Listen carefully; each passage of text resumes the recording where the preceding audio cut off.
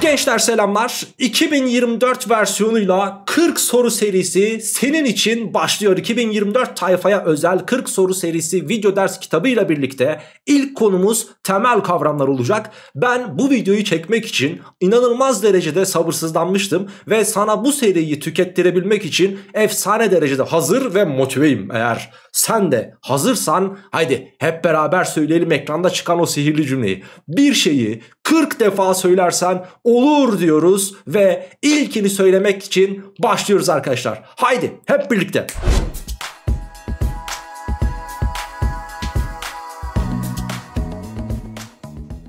Evet önce kitabın içindekilerden de bahsetmek gerekiyor. Bu video serisinin yani bu videonun aynısı diğer konular içinde gelecek. Öncelikle ele aldığımız konu temel kavramlar sonra işlem becerisi, eşitsizlik ve mutlak değer, üstü köklü sayılar, asal çarpanlar ve bölme algoritması, mantık, kümeler, fonksiyonlar, polinomlar, PKBO yani permütasyon kombinasyon binom olasılık ve veri yani istatistik kısımları olacak sevgili arkadaşlarım. Tüm bu 9 tane videoyu aynı şekilde bulacaksın. Bu arada kitabımızı da ben sana şöyle göstermek istiyorum. 40 soru serisi TYT Matematik video soru kitabı sevgili arkadaşlarım. Kitabımızın ismi cismi bu. Videonun açıklama kısmında Neler olacağını da hemen söyleyeyim. Videonun açıklama kısmında kitabın satış linkleri mevcut. Ve daha sonrasında da hemen altında da şunları bulacaksın. Hangi sorunun çözümü kaçıncı dakikada ise ben oraya etiketler atacağım. Ve sen o etikete tıkladığın anda hangi soruyu çözemediysen, hangi soruyu boş bıraktıysan, çözüp çözümünü hantal bulup bir de hocadan dinleyeyim dediysen işte o videonun işte o soruların çözümlerini direkt o etiketlere tıklayarak ulaşabilirsin. Yani videonun içerisinde öyle ileri gelir sardırmana falan hiçbir şekilde gerek yok. Şimdi Tabi kitabı almanızı tavsiye ederim arkadaşlar. Kitap almayan arkadaşlar da video e, açıkken video, videoyu durdurup oradan çözüm yapabilirler gençler. Evet şimdi ben en iyi yaptığım işe girişeceğim. Neye? Tabii ki soruları çözeceğim arkadaşlar. 40 soruda temel kavramlarla başlıyoruz ve ilk sorumuza başlayalım sevgili gençler. Tabii ki ben size soru çözüm ekranımı da yansıtayım. Evet gençler şimdi ilk sorumuza bakalım. Uf lan çok heyecanlı. Vallahi billahi yani öyle böyle bir heyecan değil. Ben çok sabırsızlanmıştım bu seri çıksın. Bunun kitabını çıkaralım. Çünkü 2 senedir pdf üzerinden ilerliyoruz. Pdf'ler çok dağınık. E, farklı yayınlardan sorular alıyorum. Kendi yazdığım soruları da içerisine monte etmeye çalışıyorum ama tabii ki bunun dizgisi var, şusu var, busu var. Çok uzun işler. Ama kitap ciddi anlamda derli toplu sevgili arkadaşlarım sizin de 10 numara 5 yıldız işinizi görecek. E bu konuların videolarını dinledikten sonra bu soruları çözdükten sonra bakın iddia ediyorum ki bu soruyu bu konuyla alakalı herhangi bir şüpheniz kalmayacak. Herhangi bir eksiğiniz kalmayacak. Bu kitap sizi tamamlayacak. Bu kitap sizi düzenleyecek. Bu kitap sizi derleyecek olan kitap arkadaşlar. Şimdi lafı fazla uzatmadan ilk sorumuza bir girişelim bakalım. Ne demiş bize? A, B, C ve D harfleri. Eksi 6, eksi 3, 4 ve 12 sayılarıyla eşlenerek x sayısı oluşturuluyor. Neymiş bu x sayısı? A eksi b ile c bölü d'nin çarpımı. Buna göre x sayısı demiş. Eksi 9, eksi 14, 16 sayılarının hangilerine eşit olabilir diye sorulmuş. Şimdi burada biz x'in a eksi b çarpı c bölü d olduğunu biliyoruz. Ve bu a eksi b çarpı c bölü d'yi biz şuraya şöyle çekelim. Büyük bir şekilde gösterelim ki herkes görsün bunu. X eşittir şimdi a eksi b. Biz sadece ama sadece buradakileri seçeceğiz bak. Şimdi ben a'yı eksi 6 seçsem. Eksi desem. Burası da eksi 3 seçilse. Çarpı geriye hangileri kaldı? 12 ve 4 kaldı. E şimdi 12'yi 4'e bölmek daha mantıklı. 4 bölü 12 sonuç olarak 1 bölü 3'ü vereceği için bize 12'yi bir 4'e bölelim bakalım. Şimdi şurası ne oldu? Eksi 6'dan eksi 3'ü çıkardık. Eksi eksi artı yaptı. Burası eksi 3 geldi. 12'yi 4'e böldüm. Çarpı 3 geldi. Eksi 3 ile 3'ün çarpımı eksi 9'u verdi bize. Ki zaten birinci öncülümüzde de eksi 9 yazıyormuş. Peki devam. Başka neler olabilir? A gördüğüm yere bu sefer ben e, yine eksi 6 ve eksi 3'ü seçsem olur. Eksi 6 eksi eksi 3 dedim. Tamam mı? Burası ne geldi? Yine eksi 3 geldi. Şimdi çarpı şuraya bakıyoruz. Az önce 12'yi 4'e bölmüştük ya bu sefer 4'ü biz 12'ye bölelim. 4 bölü 12 ne yapar? 1 bölü 3 yapar. Eksi 3 ile 1 bölü 3'ü çarpacak olursam ben bu bize neyi verir? Eksi 1'i verir. Eksi 1 şıklarımızda yani öncülerimiz içerisinde yok. E peki ne yapalım madem öyle farklı şeyler deneyelim. Mesela Şurada 12'den 4'ü çıkarayım ben. Bu sefer yerlerini değiştirelim. 12'den 4'ü çıkardım. Ne yaptı? 8. Şimdi bu 8 ile neyi çarpmam gerekiyor benim? Artık şuradaki kısım. Yani eksi 6 ve eksi 3 kalmıştı. Bunları birbirine oran, oranlarsak eksi 6'yı eksi 3'e böldüğüm takdirde 2'yi verir bana. 8 kere 2 de bana 16'yı verir. Aa bak 3. öncül de karşımıza çıktı. Peki eksi 14'ü yakalayabilir miyiz diye şimdi şöyle bir içimizden geçirmiş olmamız gerekiyor. Çünkü eksi 14 e, eksi 9'u e, elde etmek kolay 16'yı elde etmek kolay ama eksi 14 hemen öyle e, düşünülebilecek bir şey değilmiş gibi duruyor. Ama bak dikkat et dikkat et. Neden biliyor musun? Eksi 14'ün çarpanları daha güzel. Yani mesela nedir? Eksi 2 ile 7'nin çarpımı veyahut eksi 7 ile 2'nin çarpımı. Başka bir şey var mı? Yok. E şimdi ben burayı eksi 2 olarak elde edebilir miyim? E 12'yi eksi 6'ya böldüğüm takdirde eksi 2'yi bulurum ya güzel kardeşim. 12'yi eksi 6'ya böldüm. Ne geldi burası? Eksi 2 geldi. Şimdi bana ne lazım? Bir de 7 lazım. 7'yi ben burada şöyle çarpım durumundaydı ya. Çarpı diyelim. E ne elde edeceğim bir de ben 7. 7'yi nasıl elde ederim? 4'ten eksi 3'ü bir güzel çıkarırım. 4 eksi eksi 3 olursa sevgili arkadaşlar burası 7 olur ve 7 kere eksi 2 bana eksi 14'ü verir. Mükemmel oldu. Bunu da sevgili arkadaşlarım elde edebiliriz deriz. Ve 1, 2, 3 bizim cevabımız olur. Demek ki cevabımız E şıkkında verilmiş sevgili arkadaşlar. Arkadaşlar 40 tane sorunun ilkini çözdük. Yani 40'ta birini ediyor bu. Yani %2,5'u ediyor. Önümüzde daha %97,5'luk kısmı var. Devam ediyoruz ikinci sorumuzda. A, A kümesi verilmiş sayısı diyordum. A kümesi verilmiş. Eksi 1, eksi 2, 4 ve 8 elemanlarına oluşuyor bu küme. Bu kümenin elemanları aşağıdaki kutucuklara birer kez yazılıyor. E, buna göre x'in alabileceği tam sayı değerlerinin toplamı. Şimdi burada da üstteki soruya benzer ama ÖSYM'nin farklı tarzda kazanımları mevcut. Şimdi bakalım arkadaşlar ben burada eksi 2'yi eksi 1'e bölecek olursam 2'yi elde ederim. Artı. E buraya da 8'de 4 kalmış oldu. 8'de 4'e bölersek 2 gelir. 2 artı 2 de bana 4'ün ta kendisini verir. Bu cepte. Daha sonrasında bunları şu şekilde yer değiştirebilirsiniz. Bak onu da fark ettim hemen. Eksi 1 bölü eksi 2 dedim. E buraya da 4 bölü 8 dedim. Bak sol taraf burası 1 bölü 2'den 1 bölü 2 geldi zaten. E burası 4 bölü 8'den 1 bölü 2 oldu. E toplayınca ne yapar bu? 1 yapar. E şimdi 4'ü elde edebiliyorduk ya. 1'i de elde edebiliyormuşuz. E tamam çok güzel. Devam edelim. Başka şeyler elde edilebilir mi? Bunları da sildim. Başka hocam başka başka başka bak 8'i eksi 1'e bölelim. 8 bölü eksi 1 artı 4'ü de eksi 2'ye bölelim. 4 bölü eksi 2. Şurası ne gelir? Eksi 8. E hocam burası da eksi 2 yapar zaten. E ben bunları toplarsam eksi 10'un ta kendisini bulurum. O zaman eksi 10'u da elde edebiliyormuşuz. Başka var mı? Tabii ki var. Devam. Mesela 8'i biz eksi 2'ye hiç bölmedik. 8'i eksi 2'ye böldüm. Geri kalanlar da 4'ü de o zaman 1'e bölelim. 8'i eksi 2'ye bölersem eksi 4 gelir. E 4'ü eksi 1'e bölersem e hocam burası da eksi 4 gelecek. Yanlış yazmıştım az önce düzelttim. E, 4'ü eksi 1'e böldüm. Burası da eksi 4 geldi. Topladık eksi 8'i verdi. Tamam. Başka bir şey elde edilebilir mi? Şimdi ben 8'i eksi 1'e böldüm. 8'i eksi 2'ye böldüm. 8'i 4'e de bölmüştüm az önce. E şimdi 4'ü eksi 2'ye böldük. 4'ü eksi 1'e de böldük. Başka bir şey kalmamış görünüyor. O zaman işte bunların toplamları sorulmuş bize. 4 ile 1'in toplamı 5 yapar. Eksi 10 daha eksi 5 yaptı. Eksi 5'e eksi 8 eklersem eksi 13'ün ta kendisini bulurum. O halde doğru cevabımız bizim D şıkkıdır diyebiliriz sevgili gençler. İkinci sorumuzu da çözdük. Şöyle bir ve ikinci sorularımızın çözümlerine bakalım. Devam ediyoruz. Üçüncü sorumuzda. F bir doğal sayı.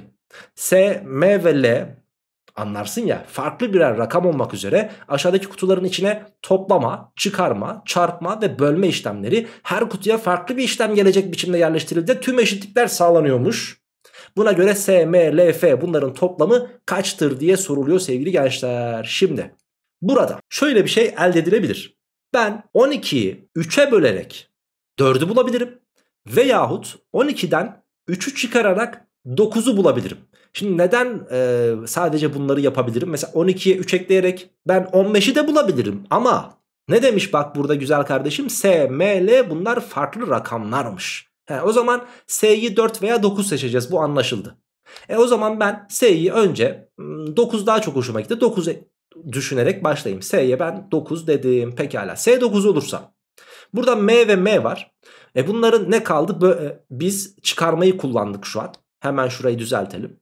Biz burada çıkarmayı kullandık ve 9 olarak bulduk. E S9 ise geriye sadece çarpma, bölme ve toplama işlemleri kaldı. Toplamayla 9'u elde edemem. Çünkü iki tane rakamın toplamı 9 yapmaz. E başka neyle elde edebilirim? E çarpmayla elde edilebilir. Çarpmayı kullandım o zaman M3 oldu. M'ye hemen 3 dedik. Daha sonrasında S9'du. M de 3'tü. 9 ya burası bölüm olacak.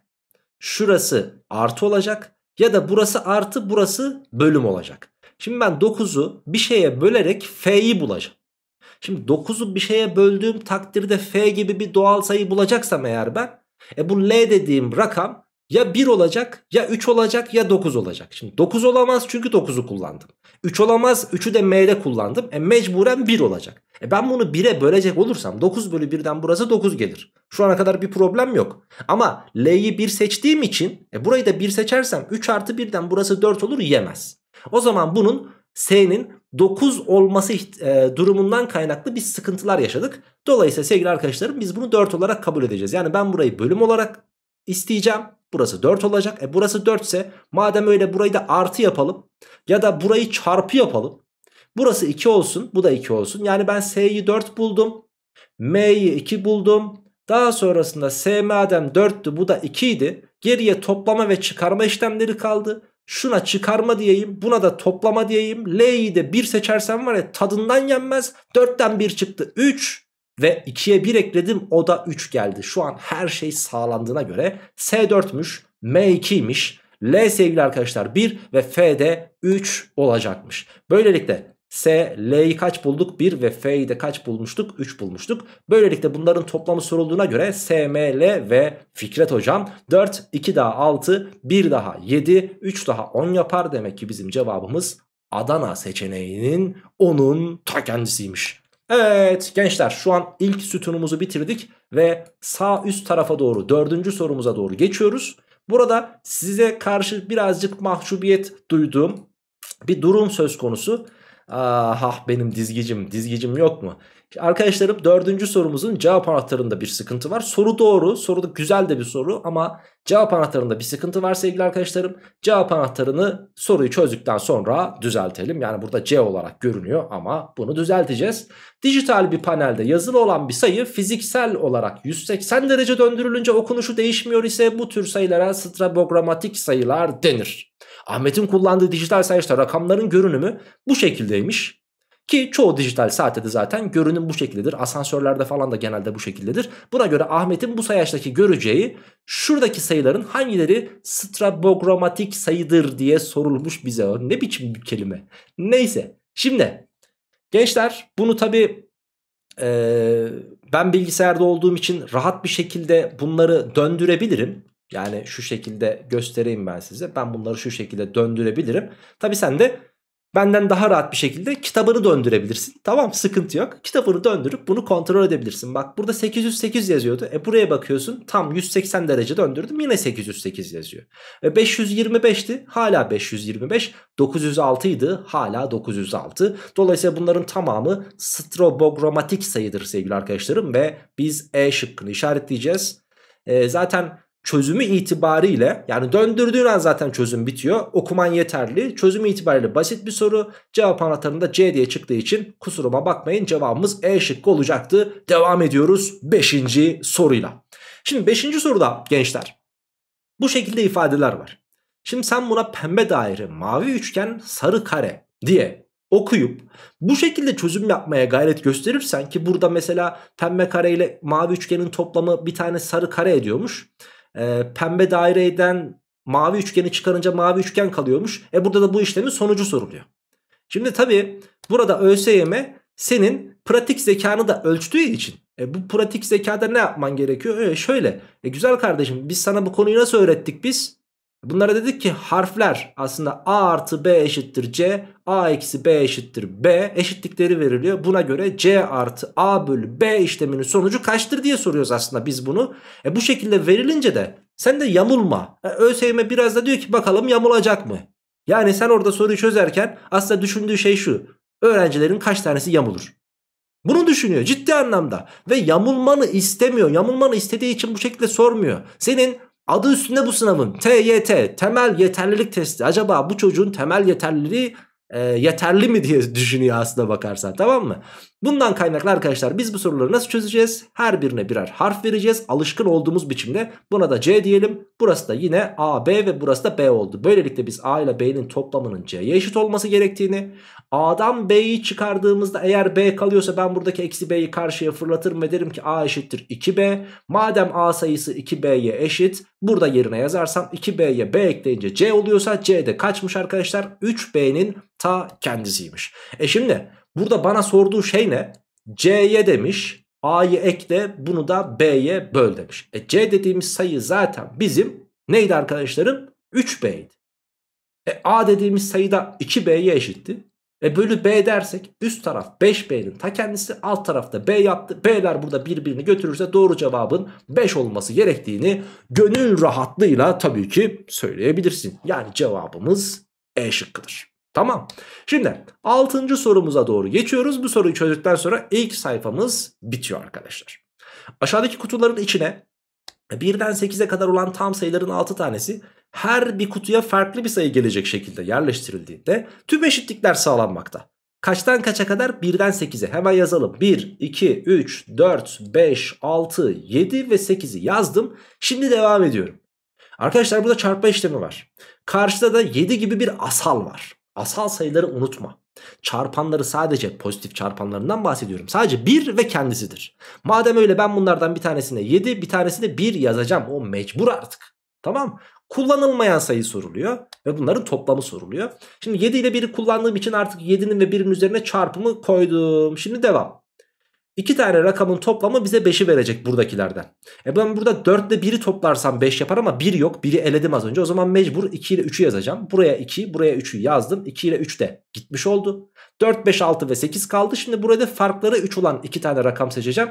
Ki farkları 3 olan 8 eksi 6, 2, 8 eksi 5, 3 çok güzel o zaman ben buraya 8'i buraya 5'i koydum mu 8 ile 5'i de elemiş olduk. Kullanılmayan rakamlar 4 ve 6 idi. İşte bunların toplamı sorulmuş. 4 ile 6'nın toplamı 10 yapar. Doğru cevap C seçeneğiydi. 6. sorumuzu bitirdik ve sevgili arkadaşlarım artık bu videonun da %15'ini bitirmiş oluyoruz böylelikle. Evet ilk sayfa bitti. Sayfamıza şöyle geriden bir bakalım. İnşallah senin de sayfan bu şekilde derli toplu ve düzenlidir. Unutma bu konu çok önemli. Ben buna çok takığım. Yani sayfanın sevgili arkadaşlarım derli toplu olması lazım, düzenli olması lazım. Aradığını tekrardan bulmaya ihtiyacın olabilir. Bak bu mutlak surette olmalı. Yani mutlaka olmalı. Eğer ki sen bir soruyu çözüp geçiyorsan başka geriye dönüp de bakmıyorsan bak bu senin için eksi yazar. Ben sana açık açık söyleyeyim. Bu muhabbet sana eksi yazar güzel kardeşim. E niye? Ya hocam biz bak insanız. Hepimizin bu hayatta bazı uğraştığı işler var ve biz bu işler içerisinde eğer ki bazı şeyleri not almıyorsak dönüp bakmaya ihtiyacımız olmuyorsa biz o işte hata ve eksik yapma potansiyeline sahibiz. Senin değerli gördüğün yerleri işaretlemen lazım. Değerli gördüğün yerlerde mutlaka ama mutlaka bir not alman lazım. Şimdi ilk sayfayla alakalı sana notlarımı aldırmak istersem de şu şekilde söyleyebilirim. Arkadaşlarım burada birinci soru, ikinci soru tamam bir ve ikinci soru. Daha sonrasında buradaki beşinci soruyu mutlaka ama mutlaka işaretliyorsun. Altıya da işaret koyabilirsin. Burada bir, iki ve altıncı sorular e, neredeyse kazanım bakımından birbirleriyle aynı olan sorular. Ama ÖSYM'nin de bir o kadar sevdiği sorulardır. Bir de beşinci soruda aynı şekilde ÖSYM'de çıkma potansiyeline sahip sorular. Şimdi buradaki Hocam dördüncü soru ve beşinci soru için bir şey söyleyecek misin? Dördüncü soruda özel bir sayı tanımlıyoruz. Strobogramatik diye bir sayı tanım tanımlıyoruz. ÖSYM daha öncesinde bu tarz sorular sorduğumu sordu. Ama son yıllarda tercih ediyor mu etmiyor ama bu etme, etmeyeceği anlamına da gelmiyor. Dolayısıyla üçüncü soru ÖSYM'nin tarzında değil ama yukarıdakilerin tarzına benzer biraz daha zor görülmesi, e, görülmesi zor olan bir soru olduğu için böyle bir soru koyduk sevgili arkadaşlarım aklınıza bulunsun. Şimdi geçelim mi ikinci sayfamıza? Geçelim. Yedinci sorumuzdayız. Aşağıda verilen kutulara 4, 7, 8, 11, 15 kümesinin elemanları birer kez yazılarak aradaki işlemler uygulanıyor ve eşitlik sağlanıyor. Buna göre boyalı kutuya yazılabilecek sayıların çarpımı kaçtır? Şimdi boyalı kutu nerede? Aha burada. Yalnız bu boyalı kutu bir parantezin içerisinde parantezi dışarıdan şu kutuyla çarpılıyor ve 168 bulunuyor. O halde benim şunu düşünmem lazım. Ben hangi iki sayıyı çarparak 168'i bulabilir, bulabilirim?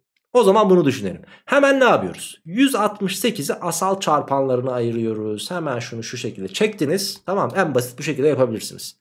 Şimdi ben bunu 2'ye böldüm 84 geldi. Tekrar 2'ye böldüm 42'nin ta kendisi geldi. Tekrar 2'ye böldüm 21. 3'e böldüm 7. 7'ye böldüm 1 dedim mi güzel kardeşim dedim. Şimdi şuradaki sayı için konuşuyorum. Buradaki sayımız 2 olabilir. Yalnız burada 2 yok. A, 2 ile 2'nin çarpımından 4 var. Şimdi 4 çarpı şurası ne yapar? 42. Şimdi 4 kere 42 olabilir burası. Bu 1. Daha sonrasında 8 kere 8 kere 21 olabilir. Sonuçta 8 burada var. Pekala 11 yok 15 yok ama 7 var. Bak 7 kere diğerlerinin çarpımı kaç yapar? 8 ee, kere 3'ten 24 yapar. Yani dışarıdaki sayımız bizim ya 4 ya 8 ya 7 olacak. Bu 1 cepte. Şimdi eğer dışarıdaki sayı 4 ise içerisinin 42 olması gerektiğini öğrendik. Hemen şu şekilde ben sana göstermek istiyorum. Şöyle yaptım bölü dedim bir tane daha koydum. Artı dedim bir tane daha koydum. Şimdi buranın ne olması lazım dedik 42. Bakalım 42 yapabilir miyiz? Şimdi şu iki sayının birbirine bölünebilir sayılar olması lazım. Ee, ben burada 4'ü kullandığımı varsaymıştım. Şurası 4 olsun demiştim. Şimdi 4'ü buradan sildikten sonra şu ikisinin birbirine bölünebilir olması gerekiyor dedik ya. Buraya bakıyorsun birbirine bölünebilen sayılar yok. İşte sorunun sana verdiği ipucu da burası. E güzel kardeşim o zaman 4'ten vazgeçeceksin. Yani 4 olmazmış diyeceksin. Madem öyle burası da 42 olmaz. 8'e 21'e bakacağız. Şimdi demek ki burasının 21 olması gerekiyor eğer ben burayı 8 seçersem. Peki 21 olacakken 8'i buradan sildim. Birbirine bölünebilen iki sayı var mı? O da yok. O da yok değil mi? Aa çok güzel. O zaman geriye tek bir ihtimal kaldı. Bu olmadı, bu da olmadı. Demek ki dışarıdaki sayımız bizim yani şurası sevgili arkadaşlarım 7'nin ta kendisiymiş. Burası 7 iken içerisinin 24 olması gerekiyor dedik. Dolayısıyla buranın da 24 olması gerekiyor. Şimdi ben burada neyi silmiştim? 7'yi silmiştim değil mi? Hadi 7'yi sildim bu sefer. Şimdi şu iki sayıya bakıyoruz. Birbirine bölünebilen sayılar var mı? Var. 8 ve 4. 8'i 4'e böldüğüm takdirde tabi önündeki eksiği de unutma. Eksi 8'i 4'e böldüm eksi 2 geldi. Yanında bir kutu var. Bunun da artı yanında bir kutu var ve buranın 24 olmasını istiyoruz. Ben burada 7'yi 8'i ve 4'ü kullandım. Geriye ne kaldı? 11 ve 15. Şimdi burası 11, burası 15 veya burası 15, burası 11 olabilir. Hiç fark etmez çünkü aralarında artı var. Sonuç olarak şuna bakacaksın sen. 11'den 2'yi çıkardın. E 9. 15 ekledin. 24 verdi. 15'ten 2'yi çıkardın 13 ve 11 ekledin 24 verdi. O halde ne, ne dememiz gerekiyor? Boyalı kutumuz şurasıydı yani şurası 15 ve 11 gelebiliyor. İşte bunların çarpımı sorulmuş 11 ile 15'in çarpımı bize tertemiz bir 165 verir. O halde doğru cevabımız E şıkkıdır diyebiliriz. 7. sorumuzda bu şekilde gömdük. Devam ediyoruz 8'de. 8. soruda A ve B doğal sayı olmak üzere 3A artı 2B eşittir 48 denilmiş bize. Buna göre 3 tane öncül var. Hangileri doğrudur diye soruluyor. Şimdi bak. Bu tarz sorularda belki de çoğunuzun bilmediği bir yöntem gösterilebilir. 3A artı 2B eşittir 48 dedik ya. Bak şimdi güzel kardeşim şunu yapıyoruz. Ben burada 3 ile neyi çarparsam 48 elde edebilirim diye düşünüyorum. Neyi çarparsam 16. İlk defa 16'da. 3 kere 16 48 o zaman B kaç olmalı? 0. Bunlardan bir tane buldun ya sevgili arkadaşım. Bir tane buldun. Hemen şuna bakıyorsun. Buradaki 3 ve buradaki 2. Aralarında asal mı? Aralarında asal. İkisinin de bir harici ortak bir böleni yok. O halde 16'yı ikişer ikişer azaltıyorsun. Buradaki sıfırı da üçer üçer artıyorsun. Çaprazladık ha. Bak burayı ikişer ikişer azalt. Burayı üçer üçer arttır. Yani burası 14 iken burası 3 olur diyoruz. Gerçekten öyle mi? 3 kere 14 52 Pardon 3 kere 14 42. 2 kere 3 6 topladım 48. Muhteşem. Daha sonrasında burayı 2 azalttım 12. Burayı 3 arttırdım 6. 3 kere 12 36. 2 kere 6 12 topladım gene 48. Sağlamak zorunda. Ben öyle diyorum çünkü. Tamam şimdi devam. O zaman ben bunu azalta azalta giderim. Yani burası 10 olur. E burası 8 olur. E burası 6 olur. Burası 4 olur. 2 olur. 0 olur. Bu şekilde devam eder. Bunlara karşılık da burası 10 iken burası 3 artırarak gidiyoruz ya. 9 olur. 12 olur. 15 olur. 18 olur. 21 olur. Daha sonrasında 24 olur. E bu şekilde sağlar dedik. Pekala. Kaç tane AB ikilisi vardır diyor. Şimdi bunlar A'lar şunlar B'ler. Burada 1, 2, 3, 4, 5, 6, 7, 8, 9 tane var. E bize ne demiş? 7 demiş. Hadi lan oradan deriz. Birinci öncül patladı. İkinci öncüle bakıyoruz. A kere B'nin en büyük değeri 96'dır. Bunların çarpımlarına bakacağız. Birbirlerine yakın olmasını bekliyoruz. 9 kere 10'dan 90'ı yakalarız.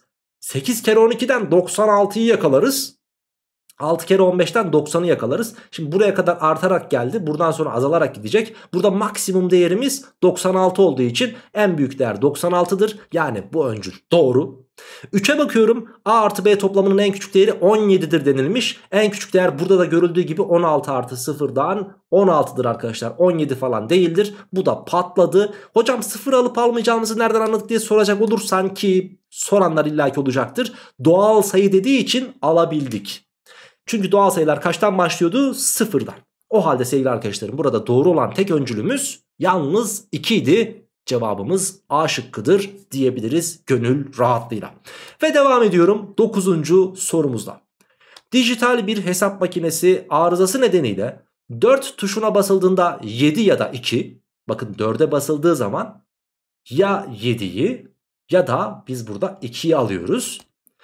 5 tuşuna basıldığında da 3 ya da 8'i alıyor arkadaşlar algılıyor. 3 3'e basıldı 5'e basıldığında da 3 ya da 8 hemen düzeltiyorum kusura bakmayın 5'e bastım 3'ü veya 8'i verdi benim karşıma pekala şimdi Ahmet diye bir elemanımız var bu eleman bu hesap makinesiyle 2562'den 1435'i çıkarmak istiyor Buna göre Ahmet'in bulabileceği en büyük sonuçla en küçük sonucu toplamı sorulmuş. Şimdi kaçtan kaçı çıkarıyorduk? 2562'den 1435'i çıkarmak istiyor Ahmet.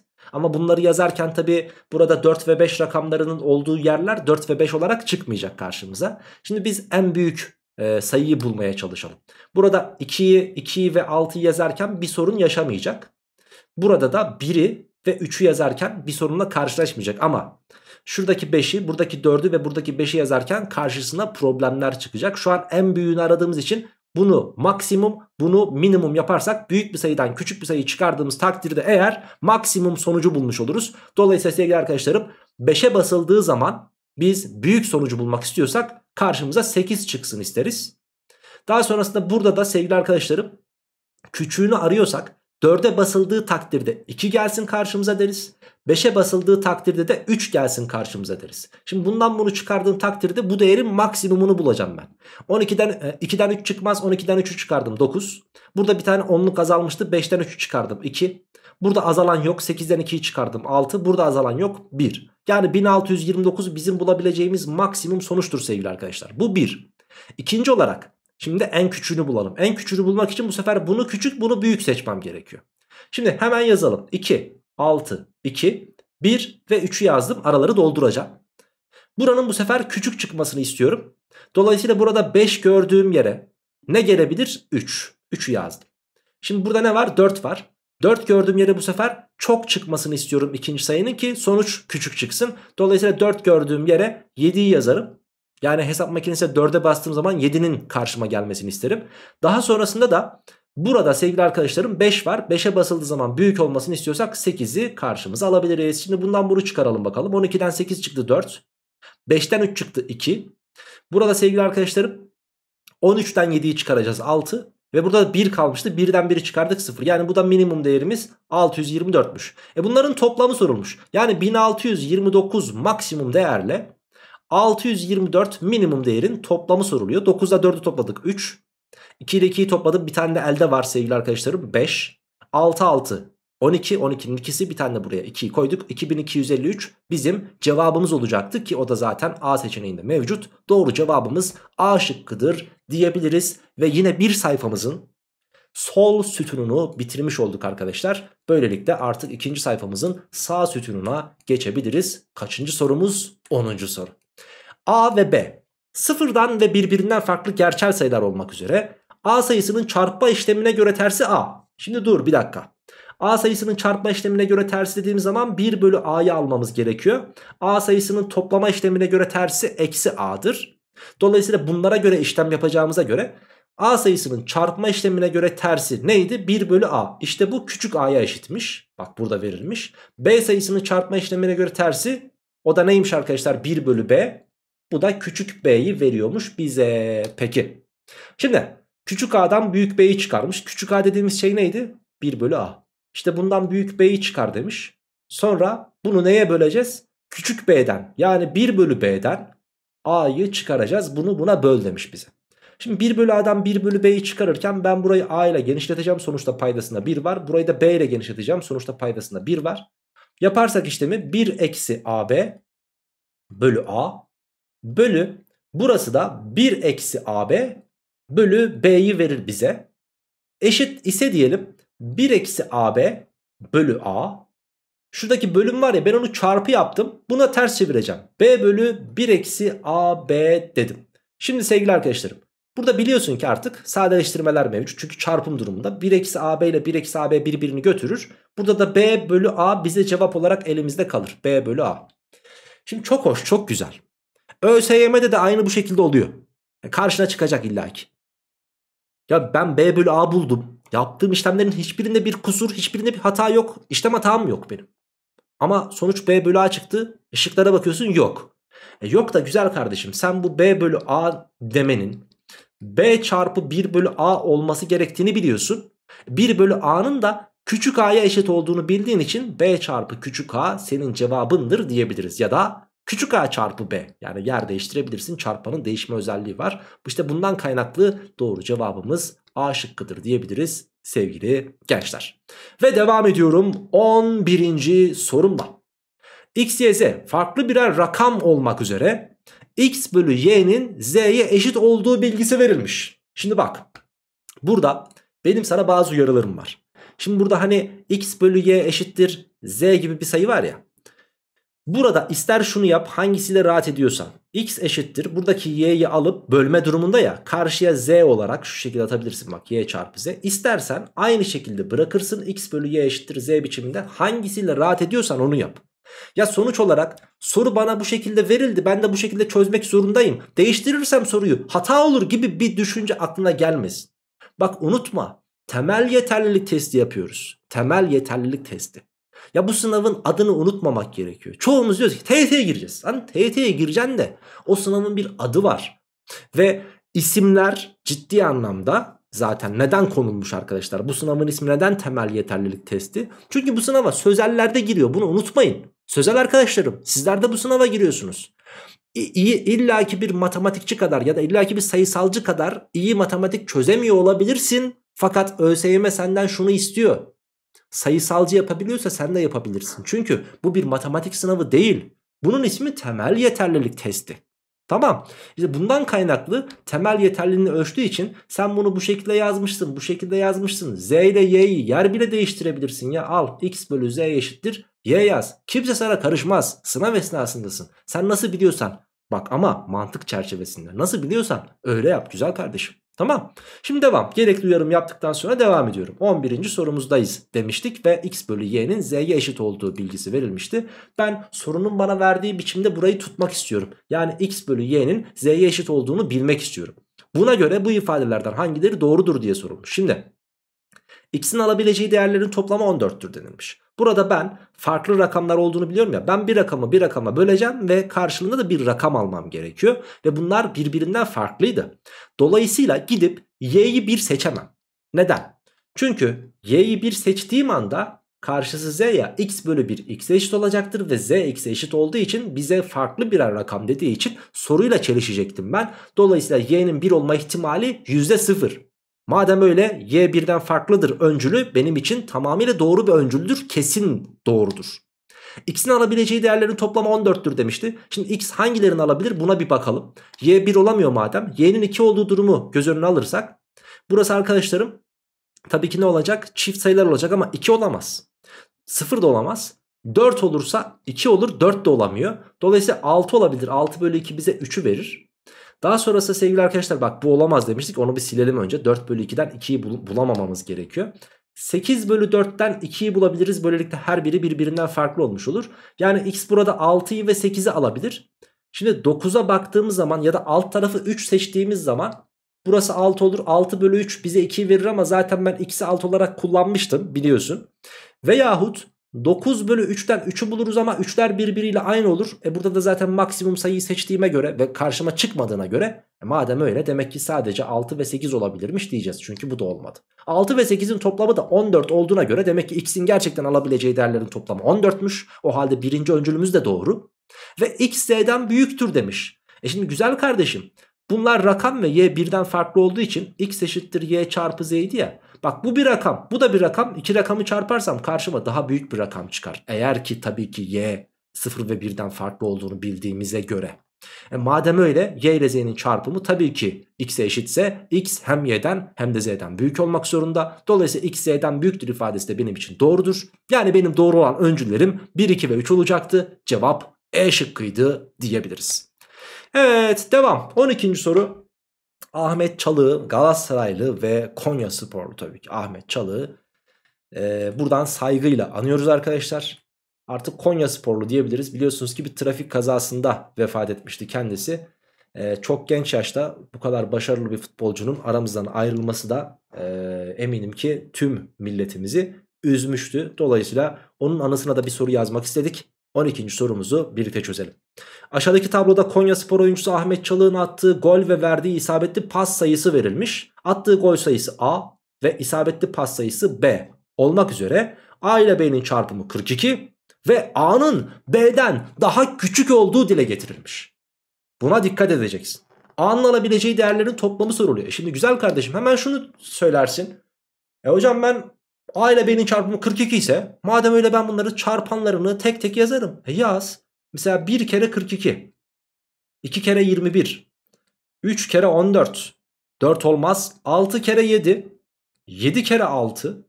14 kere 3. 21 kere 2 ve 42 kere 1. Şimdi bir yerden sonra zaten yazmayı bırakman gerekiyordu. Çünkü terslerini yaz, yaz, yazdık. Ve bu A bu B ise eğer A B'den küçük olduğu için bunu, bunu, bunu ve bunu alabilirim ama şuradan itibaren alamam. Neden? Çünkü buradan itibaren 7 6'dan, 14 3'ten, 21 2'den ve 42 3'ten 42 1'den daha büyük olduğu için alamam sevgili arkadaşlar. Dolayısıyla A'nın alabileceği değerlerin toplamı da A'nın alabileceği değerler 1, 2, 3 ve 6 olduğu için bunların toplamı bize kaçı verir arkadaşlar? Tabii ki 12'yi verir. O halde cevap D şıkkıdır diyebiliriz. Ve böylelikle artık İkinci sayfamıza da şöyle uzaktan bakma zamanı geldi. Umarım senin sayfan da bu şekilde renkli olmasını beklemiyorum. Siyah beyazdır yüksek ihtimalle. Merak etmeyin ben de kitaplarımı hala kalem ve silgiyle çözüyorum arkadaşlar. E, böyle olmasını beklemiyorum renkli renkli ama e, kaleminizle ve silginizle sevgili arkadaşlarım giriştiğiniz zaman tabi silgi lekeleri olacak, kalem lekeleri olacak, Yaz aylarındayız. Elin terleyecek. O kalemin kurşun kalemse tabi mecburen. Ve kurşun kalemse veya ucun lekesi çıkacak. Kitap sayfaları siyahlaşacak. Bunların hepsi doğal. Tamam mı? Ve bunlar inanılmaz derecede motive eden şeyler. Aman ha vazgeçmeyin. Hele ki şu yaz aylarında soru çözmek işinizden bile gelmiyor olabilir. Ama bir önceki tanıtım videosunda söylemiştim. Bazı öğrenciler hep merak ediyor. Diyor ki ya bu son 3 ay durmadan deneme çözen tayfa var ya ben onlara imreniyorum. Ya nasıl yapıyorlar ya nasıl yetiştiriyorlar her şeyi ya diyorlar. İşte ben o öğrencilere diyorum ki aranızda bu şekilde düşünen öğrenciler varsa onlara sesleniyorum. Diyorum ki arkadaşlar o öğrenciler yaz aylarında buraları halletmiş olan öğrenciler olduğu için zaten sizden yani sizden derken çalışmayan tayfadan 5-0 10-0 önde başlıyorlar zaten olaya. Ve çok doğal artık sonuç ay denemeye zaman ayırmaları. Ve sen hala kıvranıyorsun. Diyorsun ki lan herkes başladı bir tek ben başlayamadım. E benim de başlamam gerekiyor. Hop ne olmuş oluyor? Konular tamamlamadan denemeye girişmiş oluyorsun. Yapıştırıyorsun denemeyi. Sonra deneme sonuçları açıklanıyor. 40 tane matematik sorusundan 23 netlerdesin, 22 netlerdesin. Sonra geliyorsun yorum kısmına ne yazıyorsun? Hocam netlerimiz artmıyor ne yapmamız lazım? Netlerimizin artması için neler gerekiyor? Hocam net artıcı bir program yapabilir misin? Öyle bir program yok. O program bu program işte. Yaz aylarında bitirmen gereken program işte o. Tamam bunları bitirdiğin takdirde e gidiyorsun son 3 ay denemeye vakit ayırıyorsun. 30 netlerle başlıyorsun denemelere. Ben sana öyle, bunu biliyorum bunu söylüyorum. Dolayısıyla sevgili arkadaşlarım biz ne dediysek o. Yaz aylarında ders çalışılmıyor kim diyor o yalanı. Bakın arkadaşlar kapım pencerem kapalı. Bilgisayar var evin içinde. O ki bu bilgisayarın ekran kartı ekran kartı cayır cayır yanıyor. O işlemcisinden yayılan sıcaklık bu ekranlardan yayılan sıcaklık hepimiz yakıyor. Aa bu spot lambasından yayılan ışık hepimizi yakıyor ama mecburuz. Yapacağız. Neden? Ben sizler için eğitim için bir şeyler yapıyorum. Siz de mutlaka kendiniz için bir şeyler yapmak zorundasınız. Devam edelim mi?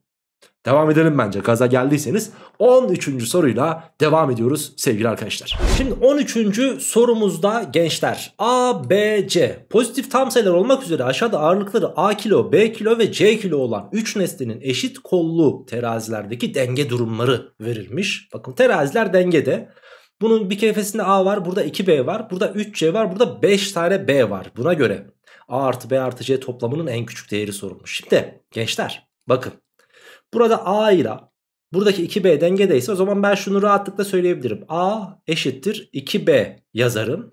Buradaki 3C ile buradaki 5B de birbirine eşitse 3C eşittir 5B yazarım. Şimdi çoğumuz buraya kadar geliyoruz zaten. Bunda bir sıkıntı yok. Bundan sonra ne yapılması gerektiği bizim için önemli. Bak taktiği veriyorum bir defa uygulayacaksın. Burada ne var? B. Burada da B ile alakalı bir şeyler var. Ama birinde 2B ötekinde 5B yazıyor.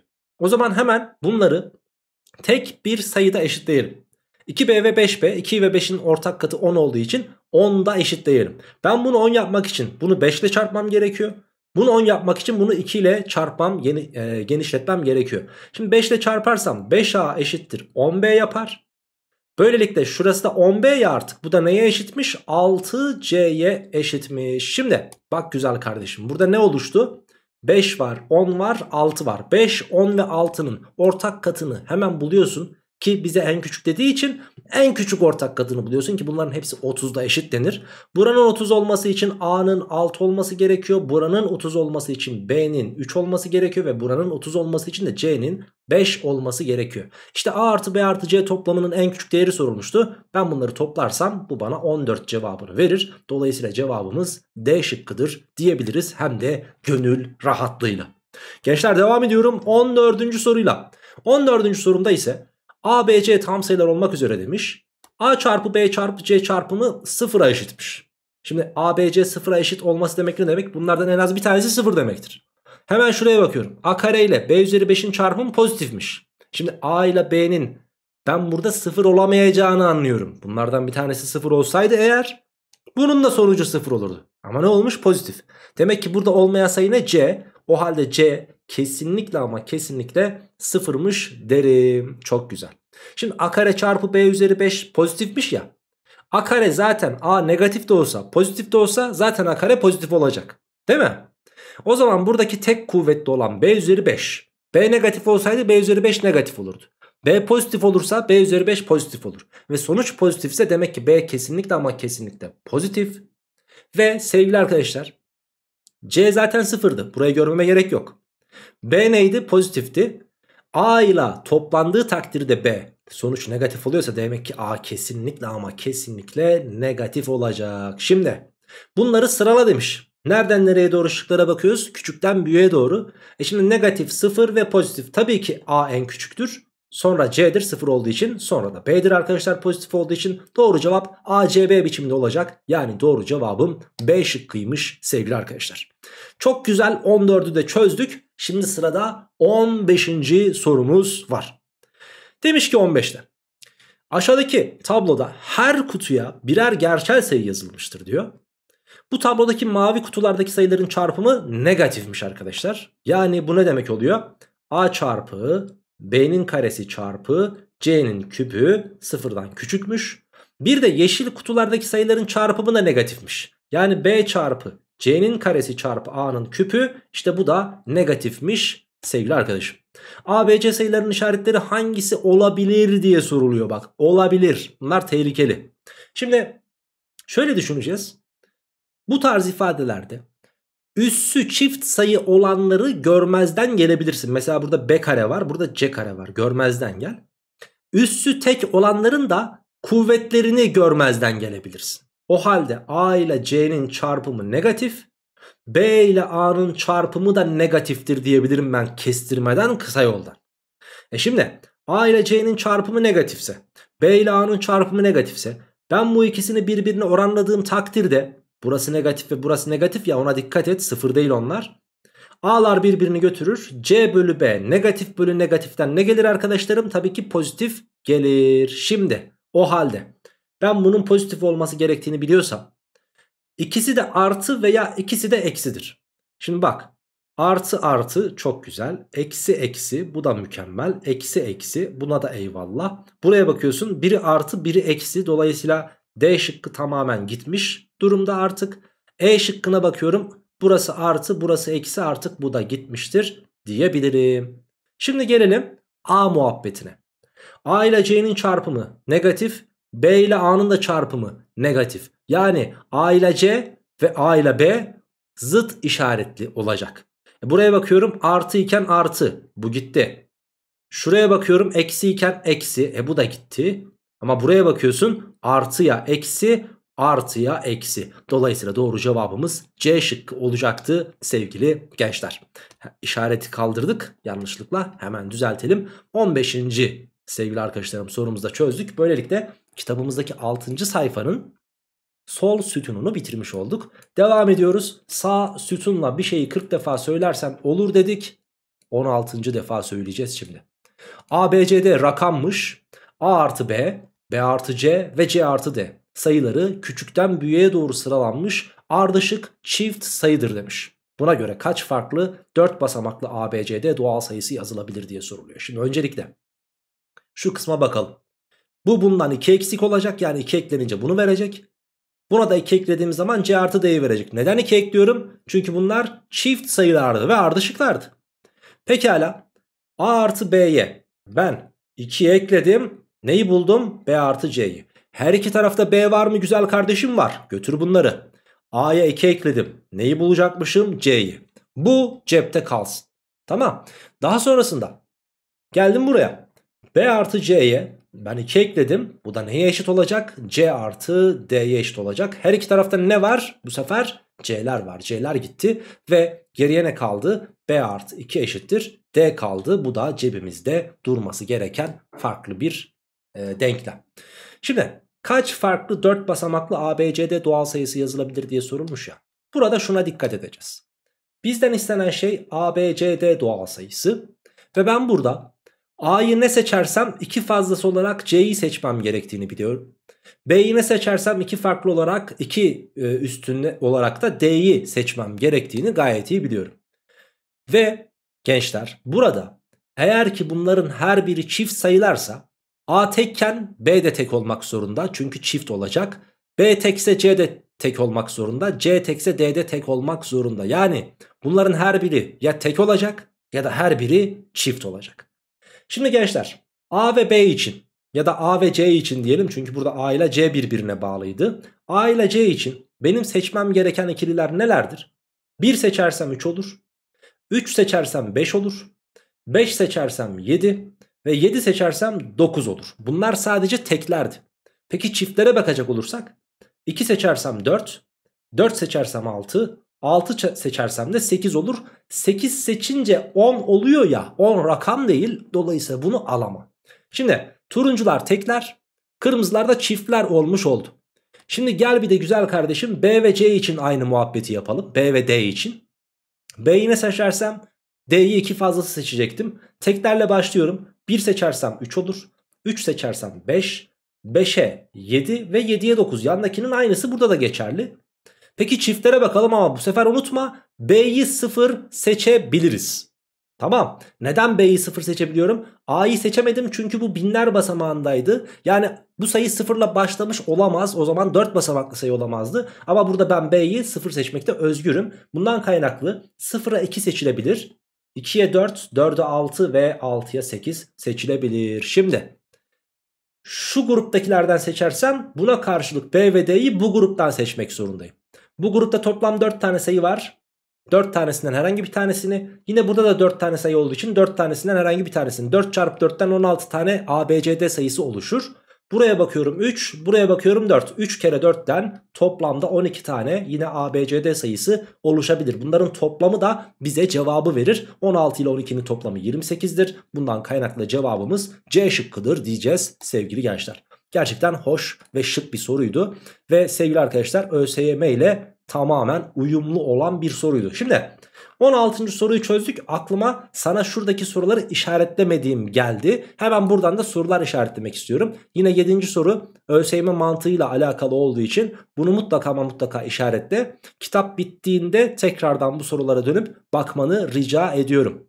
Daha sonrasında şu soruyu işaretleyebilirsin. ÖSYM mantığıyla hazırlanmış. Yine bu soruyu da işaretleyebilirsin. ÖSYM mantığıyla hazırlanmış olarak. Devam edelim. 17. sorumuzla arkadaşlar.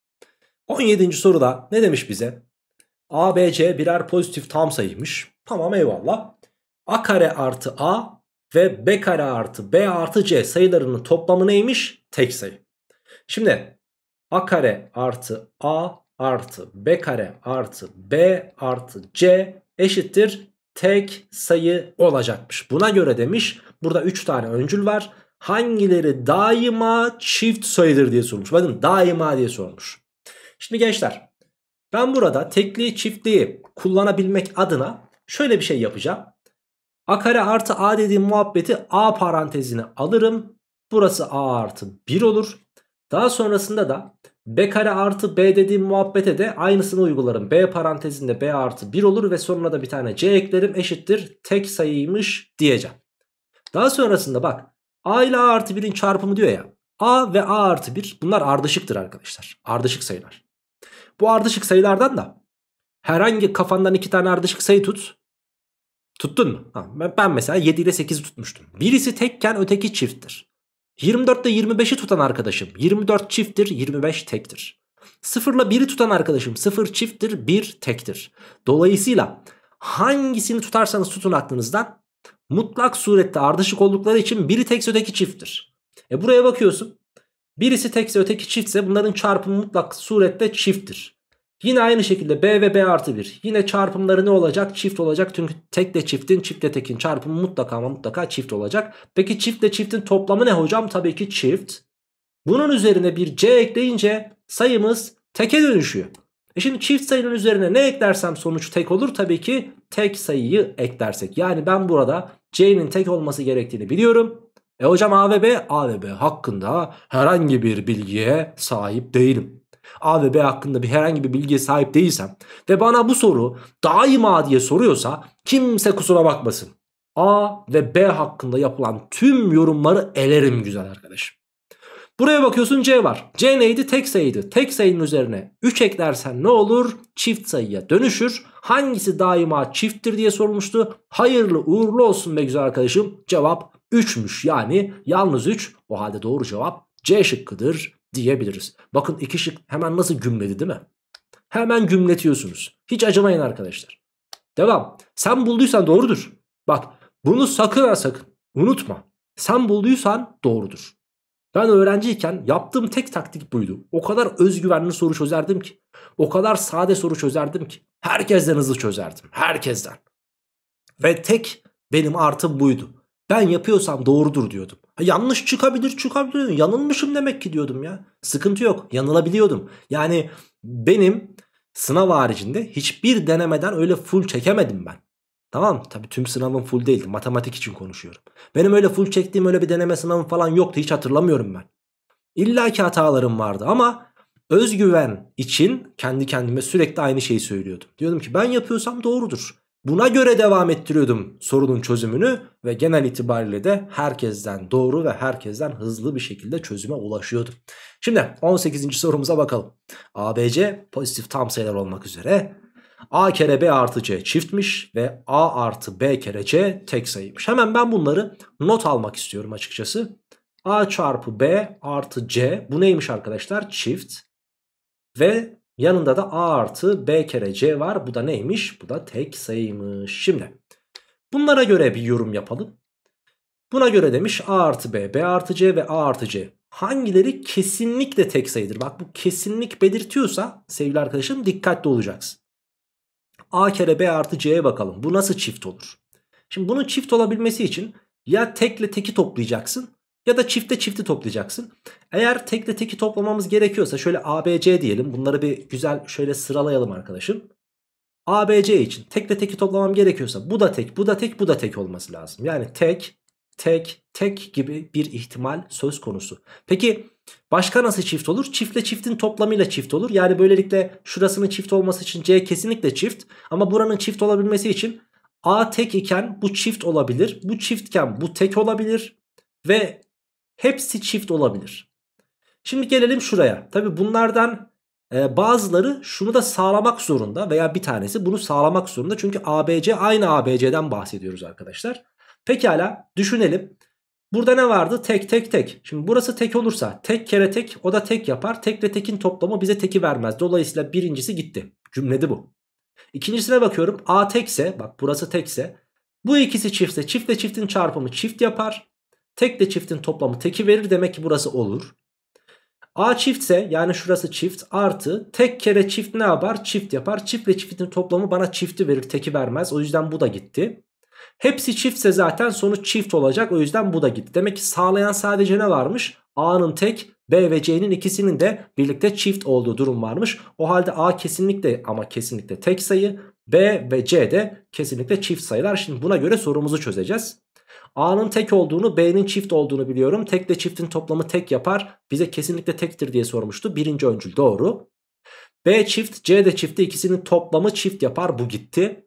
A tekti bu da çiftti. Tekle çiftin toplamı teki verir bize. Dolayısıyla 3. öncülümüzde tektir kesinlikle. Yani benim cevabım 1 ve 3 olacaktı. O halde doğru cevap D şıkkında verilmiştir diyebiliriz. Gönül rahatlığıyla. Şimdi hem sayfamıza uzaktan bakacağız. Şöyle gaza gelelim modumuz açılsın diye. Hem de sevgili arkadaşlarım sizlere bazı sorular işaretlettireceğim. Öncelikle şu soruyu işaretleyin ÖSYM ile uyumlu bir sorudur. Şu soruyu kesinlikle işaretleyin ÖSYM ile uyumlu bir sorudur arkadaşlarım. Ve buradan yine şu soruyu işaretleyebilirsiniz. Birebir karşınıza ÖSYM'de çıkma ihtimaline karşı. Devam ediyorum bir diğer sayfamla 19. sorumdayım sevgili gençler. Bize diyor ki 4 binanın yer aldığı bir siteye ışıklandırma sistemi takılacaktır. Her binada aynı anda aynı renk yanacak şekilde sırasıyla kırmızı, sarı, yeşil, mavi, kırmızı, sarı, yeşil, mavi biçiminde sevgili arkadaşlar ışıklar 1 dakika yanıp sönmekteymiş. Sarı ışık yandıktan M çarpı N dakika sonra mavi ışık yanıyor. Şimdi hangi sırayla önce yandığını bir daha gözden geçirelim. Kırmızı, sarı, yeşil, mavi. Hemen yazdım. Kırmızı, sarı, yeşil, mavi düzeninde yanıyor. Ve dörtte bir tekrar ediyor. Yani maviden sonra yanan ışık yine kırmızı sevgili arkadaşlar.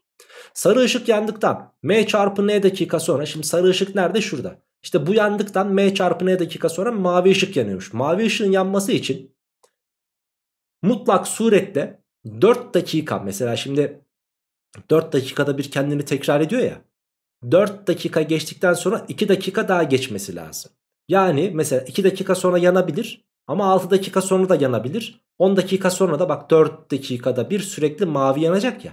Sarıdan 2 dakika sonra mavi yandı. 6 dakika sonra yine mavi yandı. 10 dakika sonra yine mavi yandı. Bunların özelliği ne? Bu sayıların özelliği 4'te bir tekrar ettikleri için sevgili arkadaşlar 4'ün katından bak 4'ün katından ya da K'yi kırmızı olarak kullandık onu yazmıyorum. 4'ün katından 2 fazla olan sayılarmış sevgili arkadaşlar. 4A artı 2 formatındaki sayılar bunlar. Peki mavi ışık yandıktan N artı K çarpı M dakika sonra da kırmızı ışık yanıyormuş. Şimdi şöyle diyeceğiz. M çarpı N. M çarpı N. Bu 4'ün katından 2 fazla demiştik ya. Şimdi N artı K çarpı M için konuşacağız. Bu da maviden sonra kırmızının yanması için maviden sonra bir dakika geçmiş olması gerekiyor. Yani 4'ün katından bir fazla olması gerekiyor bunun da. 4'ün katından bir fazla. Şimdi gençler MNK tam sayılar olduğuna göre M eksi N çifttir. N artı K çifttir. M'nin üzerinde N tektir demiş. Bize hangileri daima yanlıştır diye soruluyor. Aman dikkat doğrusunu bulup işaretleme. Şimdi arkadaşım burada yapmamız gereken bu soru bir kere teklik çiftlik sorusu. 4A artı 2. 4A her halükarda çifttir. Üzerine 2 eklersem yine çift bir sayıyla karşılaşırız. 4B artı 1 de 4B çifttir. Üzerine 1 eklersem tek bir sayıyla karşılaşırız. Güzel. Şimdi eğer ki M çarpı N artı K tek sayıysa Ayrı ayrı bu da tektir bu da tektir. Yani ben m'nin tek olması gerektiğini biliyorum. Bu tek sayıyla n'yi çarpınca sonuç çift çıkıyorsa n kesinlikle ama kesinlikle çifttir. Buraya bakıyorum. Ben n'nin çift olması gerektiğini biliyordum. E buranın tek olabilmesi için k'nın da ne olması lazım? Tek olması gerekiyor. Yani m, n ve k için artık şunları söyleme zamanı. m sayısının sevgili arkadaşlarım ben tek sayı olduğunu, n'nin çift olduğunu ve k'nın da tek sayı olduğunu buldum. Şimdi gelelim şuraya. M'den ne çıkarsa çifttir demiş. Yani tekten çift çıkarsa sonuç tek sayıdır. E burada ne demiş? Çift sayıdır demiş. Yanlış. Dolayısıyla bana da yanlıştır diye sorulduğu için birinci öncül yanlış olduğu için işaretledim. Ne artı k çifttir demiş. Ne ile k'yı yani çiftle teki topladınız tek yaptı. E burada çift demiş dolayısıyla bu da yanlış. M üzerine yani tek üzeri çift sayı ki buradaki çift sayı negatif bir çift sayı olamaz. Çünkü dakikadan bahsediyoruz. Dolayısıyla tekin çift kuvvetleri burada bize tek sayılar verecektir. Burada zaten tek dediği için bu doğrudur. Cevap yalnız 3 değil 1 ve 2 arkadaşlar ona dikkat. Dolayısıyla cevabımız C şıkkında verilmiştir diyebiliriz. Hem de gönül rahatlığıyla. Böylelikle bu soruyu da çözdük 19. soruyu. 20. soruya geçiyoruz ve bunu çözdükten sonra hem bölümümüzü 40 soruda temel kavramları hem de sevgili arkadaşlarım videomuzu yarılamış oluyoruz ki zaten tam da 1 saate yaklaşık bir zaman olmuş. Şimdi ABCD birbirinden farklı pozitif tam sayılar olmak üzere denmiş. Birinci satır ve ikinci satırda bazı sayılar verilmiş. Tablosu oluşturuluyor. Bu sayılar için her satırdaki sayıların toplamı tek sayı. Şimdi A ile B'nin o zaman ben tek olması gerektiğini biliyorum. Aynı zamanda C ile D'nin de tek sayı olması gerektiğini biliyorum. C'nin D'den büyük olduğunu belirtmiş ve C'nin A ile B'nin toplamından oluştuğu da ifade ediliyor. Şimdi A artı B sayısı eğer ki C'ye eşitse A artı B sayısı tek olduğundan C sayısı da kesinlikle ama kesinlikle tektir diyebilirim. Eğer ki buradaki C tekse tabi üzerine ne eklersem tek olur? Tabii ki çift eklersem dolayısıyla D kesinlikle ve kesinlikle çift. C'nin de kesinlikle tek sayı olduğundan haberdarım. A artı B'nin sadece tek olduğu bilgisini biliyorum. Ve burada CD'den daha büyük. Bunu da lütfen unutmayın arkadaşlarım.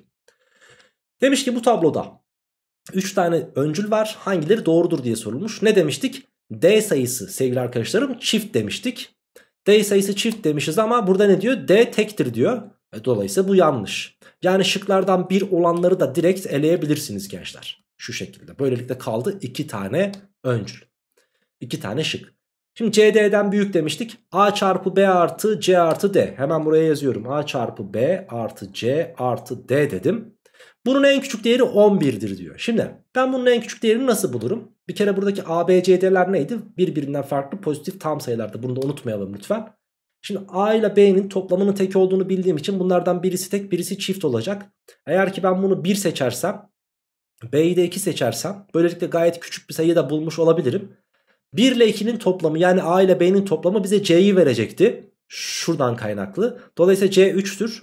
Şimdi C 3 ise bu D'den büyük olacaktı ve D'de çift olacaktı.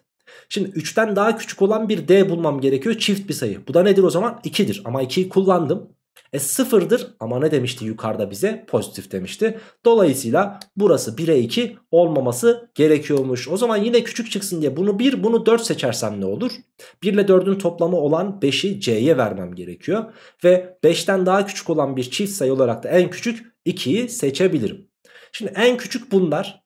Ve işte e, bize demişti ki A çarpı B kaç? 4.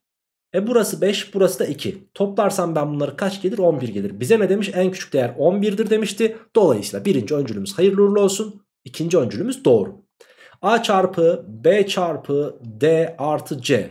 Bunun sonucu tektir demiş. Şimdi ben burada A ile B'nin toplamının tek olduğunu bildiğim için A ile B birbirinden e, farklıdır. Yani biri tekken biri çifttir, biri çiftken biri tektir. Dolayısıyla bunların çarpımı çifttir. E burası çiftse burası tamamen çifttir. Bunun üzerine ben tek olan tek olan C sayısını eklersem çiftle tekin toplamı bize teki verir. Bize de zaten tek sayıdır demişti. Dolayısıyla 3. öncülümüzde doğru olduğundan doğru cevap kesinlikle ama kesinlikle 2 ve 3 olacak sevgili gençler. Böylelikle 19'u değil 20'yi de bitirdik ve 21. sorumuza doğru geçiyoruz. Hayırlı uğurlu olsun. Çoğu bitti azı kaldı diyeceğiz birazdan. ABC gerçel sayılar. C 0 ile 1 aralığında. Şimdi ben bunu genel itibariyle şu şekilde yazıyorum bak. 0 burası 1 burası C de burada bir yerdeymiş. 0 ile 1 aralığında bir sayı. Sen de sayı doğrusu üzerinde gösterirsen iyi olur. A ile B'nin toplamı da C'ymiş. C'ye veriyormuş bize. A'nın B'nin negatif pozitif olup olmadığı hakkında hiçbir bilgim yok. Haberin olsun. Şimdi A C'den küçüktür. B C'den küçüktür. B karede C'den daha küçüktür bilgileri var. Hangileri doğrudur diye soruluyor. Şimdi öncelikle ben A'nın B ile C'nin çarpımından oluştuğunu biliyorum. Tamam B ile C'nin çarpımından. Ve sevgili arkadaşım şunu yapacağız. B'yi ben karşıya atarsam A bölü B eşittir C'yi bulurum. Bak buradaki B çarpım durumdaydı. Karşıya bölüm olarak attım bunu. A bölü B C. Şimdi 0 ile 1 arasındaki sayılar biliyorsun basit kesirler. Pozitif basit kesirlerde de pay paydadan biliyorsun daha küçük oluyordu mutlak değerce. E bundan kaynaklı artık şunu söyleyebiliriz ki A ile B eğer ki eşit işaretlilerse A B'den daha küçük. Eğer pozitiflerse de zaten o halde şöyle bir eşitlikten kesinlikle bahsedebiliriz. Bu cepte. Ve şunu da biliyorum. A ile B'nin toplamı bize C'yi veriyor.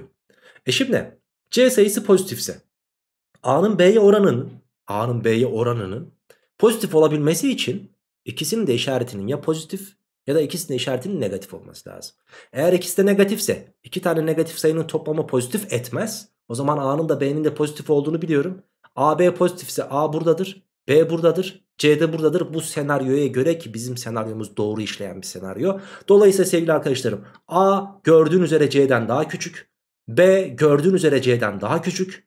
B kare de C'den küçüktür demiş. Mesela ben B'yi 1 bölü 3 C'yi 1 bölü 2 seçecek olursam bunun karesi ne yapar? 1 bölü 9 yapar ki 1 bölü 9 da 1 bölü 2'den daha küçüktür. Dolayısıyla 3. öncül de doğru. E bu öncüllerin hepsi doğruysa o halde cevap E şıkkındaki 1, 2 ve 3 olacaktı diyebiliriz. Hem şimdi böyle sayfamıza geriden bakacağız hem de sevgili arkadaşlar hangi soruyu işaretlemeniz gerektiğini ben size söyleyeceğim. Bir kere 19. soruyu kesinlikle işaretliyorsunuz. Ve burada sevgili arkadaşlarım 21. soruda bak 21. sorunun bir artısı var hem TYT'de hem MSÜ'de hem de AYT'de karşına çıkma potansiyeline aşırı derecede fazlasıyla sahip arkadaşlar. Tamam 21. soru bizim için önemli dolayısıyla oraya bir tane de yıldız benim için atabilirsin. Şimdi devam ediyoruz kitabımızda 8. sayfamıza geçiyoruz 22. sorudayız gençler. Şimdi bu sorumuzda da Demiş ki bize aşağıdaki kutuların içine birden 9'a kadar olan tam sayıların 6 tanesi her kutuya farklı bir sayı gelecek şekilde yerleştirildiğinde tüm eşitlikler sağlanıyor. Bak kaçtan kaça kadar? 1, 2, 3, 4, 5, 6, 7, 8, 9'a kadar demiş.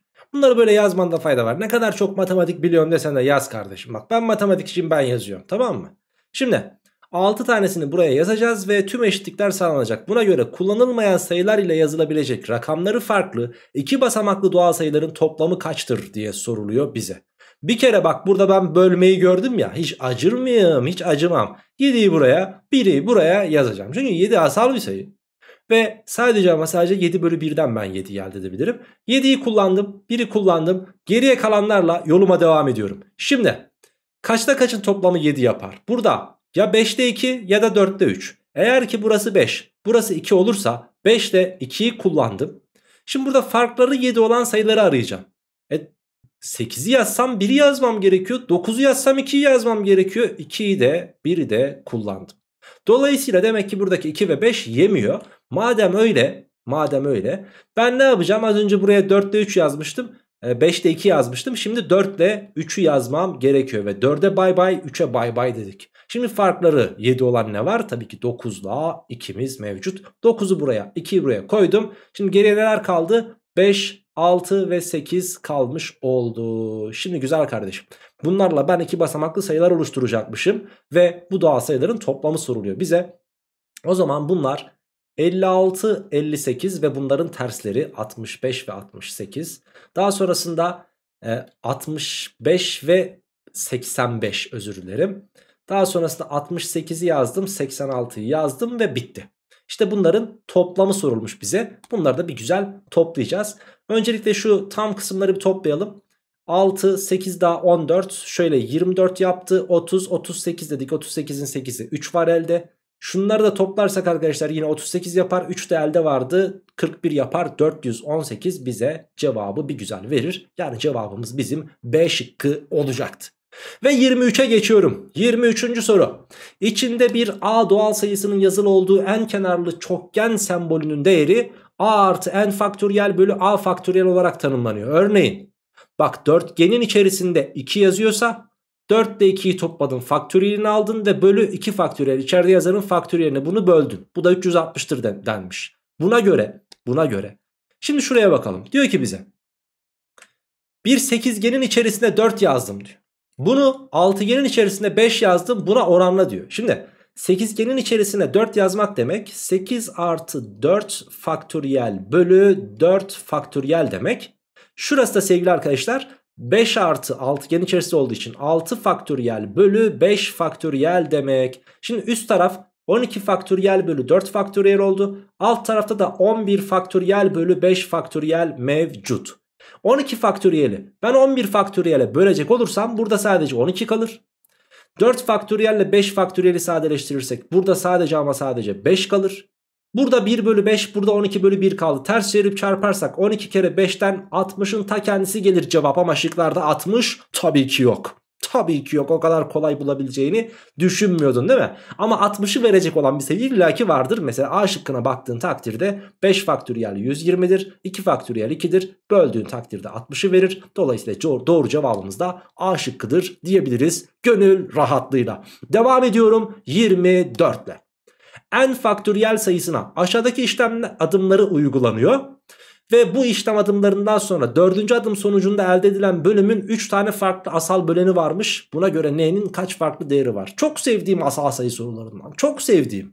Yani eskiden böyle YGS, LYS döneminde tahtaya bu soruları yazıp ödüllü soru diye bırakırdık öğrencilere. Tabi şimdi TYT döneminde bu sorular karşımıza çok fazla tercih edilmiyor ÖSYM tarafından ama sorsa var ya 100 yılın efsane sorularından birisi olur. Çok ama çok dikkatli dinliyorsun. Birinci adım. En faktöriyel sayısının en büyük tek tam böleni bulunuyor. Şimdi en büyük tek tam böleni bulunuyor. Yani bulunuyor derken içinde var demiyor. Biz onları buluyoruz. En büyük tek tam böleni ne demek en faktöriyel sayısının? İçerisindeki çift sayıların tamamını atıyorsun. En faktöriyel demek biliyorsun birden n'ye kadar olan sayıların çarpımı demek. İçerisindeki tüm çiftleri alıyorsun kenara tekler kalıyor elinde. Tekleri bulmuş olduk böylelikle. Yani 1 çarpı 3 çarpı 5 çarpı 7 çarpı 9 çarpı kaça kadar gidiyorsa. İkinci adımda birinci adımda bulunan bu bölen yani tek tam sayıların çarpımı 3'ün kuvveti olan en büyük tam bölenine bölünüyor. Yani içerisindeki 3 çarpan olan bütün çarpanları atıyorsun. İkinci adımda elde edilen bölüm 5'in kuvveti olan en büyük tam bölenine bölünüyor. Ve 5'leri de bu şekilde atmış olduk. Üçüncü adımda elde edilen bölüm 7'nin kuvveti olan en büyük tam bölenine bölüyor. Böylelikle 7'yi de tamamen atmış olduk bu sayının içerisinden. Geriye ne kaldı? Çiftleri zaten atmıştık. 3'ün kuvvetlerini attık. 5'in kuvvetlerini attık. 7'nin kuvvetlerini attık. E geriye ne kaldı? Geriye eğer içinde varsa asallar onlar kaldı. Yani 11 gibi 13 gibi onlar kaldı. Ve diyor ki 3 tane farklı asal böleni var. E 7'den sonra gelen asal 11, sonra 13 ve sonra 17'dir arkadaşlar. 3 fa tane farklı asal bölümü vardır. N'nin kaç farklı değeri vardır? Şimdi bu sayının ben 17 faktöriyele kadar gitmesi gerektiğini artık iyi biliyorum. İyi biliyorum. Peki 17 faktöriyelle uyguladığımız zaman bunun e, asal bölenleri 11, 13 ve 17 olmuş oldu diğerlerini attıktan sonra. Peki 18 faktöriyel olmuş olsaydı bu da olurdu biliyor musun? Neden? Çünkü 18 bir asal değil. Ama 19 faktöriyel demiş olsaydık az önce burada sorunun bize belirttiği 11, 13 ve 17 değil bu sefer elimizde 19 gibi farklı bir asal da olmuş olacaktı. Yani 19 olmaz arkadaşlar. Olanlar hangisiymiş? Ya 17 ya da 18. Peki buna göre n'nin kaç farklı değeri vardır diyor. Biz iki tane bulduk. O halde doğru cevabımız A seçeneğidir diyebiliriz gönül rahatlığıyla. 24. soruyu da çözdüğümüze göre 8. sayfanın sol sütunu bitmiş oldu ve geçtik sağ taraftaki sütuna 25. sorumuzdayız. A ile B pozitif doğal sayı ve AB'den küçük olmak üzere denilmiş. Bu şekilde bir AB sembolü var ve bu sembolünün değeri sağdakinden 1 çıkarıp faktöriyelini alıp soldakinin faktöriyeline bölmek demekmiş. Mesela sağdaki 8'den 1 çıkardım 7 faktöriyel bunun da faktörünü yazdım 5 faktöriyel 6 kere 7'den 42'yi verdi bize. Buna göre işte burada verilen işlemin sonucuna göre x ve y sayılarının toplamı sorulmuş. Şimdi öncelikle iç tarafa bakıyoruz. 4'ten 1 çıkardım 3 faktöriyel bölü 1 faktöriyel dedim. 5'ten 1 çıkardım 4 faktöriyel bölü 2 faktöriyel dedim. Ve yine bunlar da bir sembolün içerisinde. Şimdi 3 faktöriyel bölü 1 faktöriyel 6 yapar. 4 faktöriyel 24'tür. 2 faktöriyel 2'dir. Oranlarsam 12 yapar. Demek ki bu 6 ve 12 bu sembolün içerisinde. Şimdi buna uygulayayım ve pay kısmı tamamen bitsin. 12'den 1 çıkardım. 11 faktöriyel bölü 6 faktöriyel dedim ve bu işin pay kısmı işte buna eşitmiş. Bölü burası nedir? y eksi 1 faktöriyel bölü x faktöriyelin ta kendisidir. Eşittir dedim. Sonra 9'dan 1 çıkardım 8 faktöriyel ve bölü 6 faktöriyel dedim. Şimdi güzel kardeşim bak ben burayı şöyle yapacağım. Şunu ters çevirip çarpalım.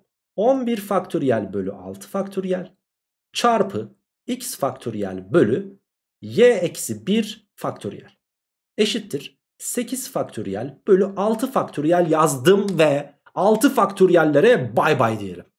Elimizde neler kaldı? 11 faktöriyel ve 8 faktöriyel sadeleşsin ve burada ne kalsın? Tabii ki 11 çarpı 10 çarpı 9 kalsın. 8 faktöriyele kadar olan kısmını ben sadeleştirdim. Böylelikle 9 çarpı 10 çarpı 11 9 çarpı 10 çarpı 11 eşittir. Ee, ne diyeceğiz arkadaşlarım? Şunu da karşıya gönderecek olursanız bu buraya bu buraya geçer. Eşittir y eksi 1 faktöriyel bölü x faktöriyel diyeceğiz. Şimdi Burada 9, 10, 11 nasıl kalır? Eğer ki burası 11 faktöriyelse ve burası da 8 faktöriyelse bunları oranladığımız takdirde bunları oranladığımız takdirde 9 çarpı 10 çarpı 11 kalır. Alt taraftaki x faktöriyel 8 faktöriyel eşitse x 8'dir derim. Ve daha sonrasında y eksi 1 de 11 ise y de 12'dir derim. İşte benden x ve y sayılarının toplamı istenmiş. Hadi toplayalım. Cevap neymiş? 20. O halde doğru cevabımız E şıkkıdır diyeceğiz sevgili gençler. 25'i çözdük. Geriye sadece 15 tane sorumuz kaldı. Devam ediyoruz 26. sorumuzda. X pozitif tam sayı olmak üzere.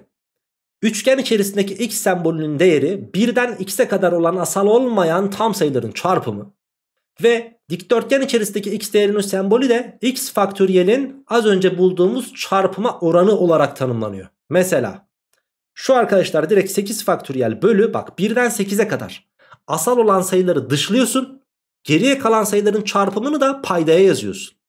Buradan hangi asallar var? 2 var, 3 var, 5 var, 7 var. İşte bunları dışlamış. 1, 4, 6, 8'i buraya sadece çarpmış ve oranlamış. Bu da sadece ne ver? 2, 3, 5, 7. He, aslında aslında şunu söyleyebilir miyiz biz? Bu ifadenin eşiti bize hep şunu verir hep vermek zorundadır. Nedir o? 8'e kadar olan asal sayılar. He. Şimdi 25'e kadar olan asal sayıları bulacağız. Bunların her birini tek tek bulmaktan ziyade önce sonucu 1 olanları sormuş bak. Sonucu 1 olanı sormuş. Hepsini tek tek bulmayacağız. Şimdi burada 21 ve 25 var. 25 birden 25'e kadar olan asal sayıların çarpımı demekmiş aslında. E buradaki 21 de 1'den 21'e kadar olan sayıların çarpımı. E 21 ile 25 arasındaki 23 asalına ne oldu? İşte bunun cevabı 1 çıkmaz 23 çıkar o yüzden. Tamam. Şimdi devam. Şuna bakalım. 91 ve 96. Şimdi üst taraf 1'den 91'e kadar olan asallar. Alt tarafta 1'den 96'ya kadar olan asallar. Peki 91 ile 96 arasında asal var mı? 92 olmaz. 92 zaten çiftti. 93 Olmaz çünkü 31 ile 3'ün çarpımı.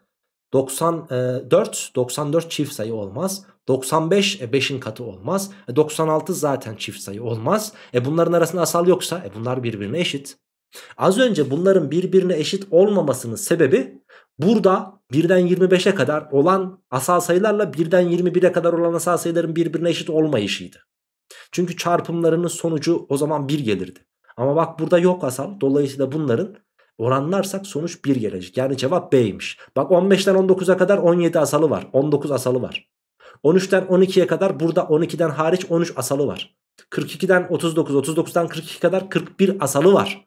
Dolayısıyla bunların hiçbiri cevap olamaz ama doğru cevap B cevabı olur. Neden? Çünkü e, 91'den 96'ya kadar herhangi bir asal yok sevgili gençler. Devam ediyorum 27 ile. Toplamları 237 olan Birbirinden farklı iki basamaklı 5 doğal sayıyla aşağıdaki ilgili aşağıdakiler biliniyor. Sayıların ikisi 90'dan büyük demiş. Sayıların iki tanesi çifttir demiş. sayıların iki tanesi 30'dan küçüktür demiş. Peki bu sayıların en büyüğü en çok kaçtır diye soruluyor. Şimdi sayıların ikisinin 90'dan büyük olduğunu biliyoruz. Sayıların iki tanesi çift sayıdır demiş. Bir kere bu 90'dan büyük olan sayılardan bir tanesini ben 91 seçerim güzel kardeşim. İki tanesi çift demişti. Şu an çift seçmedim. 91 tek. İki tanesi çift demişti. Sayıların iki tanesi 30'dan küçük demişti. E küçük olanları da bir tanesini 10 seçerim. E toplam kaç tane sayı vardı? 5 tane sayı olacaktı. Geriye kaldı 3 tane sayı seçeceğim. Bunlardan sadece bir tanesi çift olacak. O halde sevgili arkadaşlarım diğer sayıyı da 11 seçeyim hemen bir fazlası. E çift sayı kontenjanımızı nereye kullanalım? Sayıların iki tanesi 30'dan küçüktür demişti ya. O halde ben 30 seçebilirim. 30'dan küçük değil sonuçta 30. 30'dan küçük olanlar bunlar. Çift olanlar 10 ve 30. Şimdi geriye kalan sayıyı bulmak için bunları toplayacağım bir güzel. E toplayalım. 91, 11 daha 102, 112 ve 142 yaptı. Daha sonrasında 237'den 142'yi bir güzel çıkaracağız arkadaşlar. Burası 5, burası 9, burası 0. 95 yani geriye kalan sayı bizim sayımızın en büyük değeri olacaktır. Yani cevap D şıkkında verilmiş sevgili gençler. Ve devam ediyorum bir diğer sayfamızda ama devam etmeden önce sayfamıza şöyle uzaktan bakalım. Ve sevgili arkadaşlar işaretlememiz gereken sorular var. Şu soru zaten ÖSYM'nin bildiği ve sevdiği bir soru tipiydi ki son 3 seneden birinde çıktı bu soru. Dolayısıyla ona benzer bir soru yazdık sevgili arkadaşlarım. Bu soruyu işaretleyebilirsiniz. ÖSYM tarzı olduğu kesin aşikar. Yine bu soruyu hatta şu soruyu işaretleyebilirsiniz. 24. soru ÖSYM tarzı olmasa da yine mutlaka tekrardan bir göz atmanı tavsiye ederim. İşte bu işaretlediğimiz sorular hatta şuradaki soruyu işaret işaret koymayın 26 arkadaşlar. Ee, yani sonuçta kendi kitabımız diye bütün soruları işaretlemek zorunda değiliz. ÖSYM tarzında mı ÖSYM böyle bir soru e, soracağını düşünmüyorum açıkçası ama bizim uyanık olmamız açısından mühim bir soruydu. 26. soruyu kendin tekrar etmek istiyorsan edebilirsin. Devam ediyorum 28'de. Artık son anlara yaklaştık. Ne diyor 28. soruda? N pozitif bir tam sayı olmak üzere 31 faktöriyel sayısı N ile tam bölünmekte ama N artı 1 ile tam bölünmemektedir. Buna göre N'nin alabileceği en küçük değerin rakamlarının çarpımı soruluyor. Şimdi 1'den 31'e kadar olan sayıların çarpımı demek 31 faktöriyel. Bunu biraz düşünelim ve bunu biraz açalım. 1'den 31'e kadar olan sayıların çarpımı çok büyük bir sayı. Ve içerisinde baya bir çarpan var. Ama bu sayımız N sayısına bölünebiliyor. Ama N artı 1 sayısına bölünemiyor. Peki n artı 1 sayısı için en büyük aday nedir? Bir asal sayıdır. Asal sayı hocam 17 mesela olur mu? E 1'den 31'e kadar çarparken içerisinde 17 yok mu? Var. Dolayısıyla 31 faktöriyel sayısı 17'ye tam bölünür. 19 o da var. E hocam 23 o, o da var. Hocam 31 e, o da var. Peki 31'den sonraki asal kaç? 37. O halde ben n artı 1'i en küçük 37 seçebilirim. Böylelikle n sayısının da en küçük değeri 36 olur. Peki hocam 31'in içinde 36 var mı? Var. Nasıl var ya? Mesela hem 4 var hem 9 var.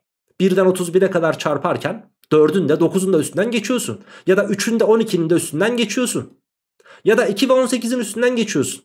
Dolayısıyla bunları çarparak bir 36 çarpanı elde edebildiğin için bu sayı 36'ya bölünürken İçerisinde 37 gibi bir asal olmadığı için 37'ye bölünmeyecektir. Yani n'in alabileceği minimum değer 36'dır. Ve işte en küçük değerin rakamlarının çarpımı sorulduğu için de 3 ile 6'yı çarpıp cevabı 18 diyebilirsin gönül rahatlığıyla.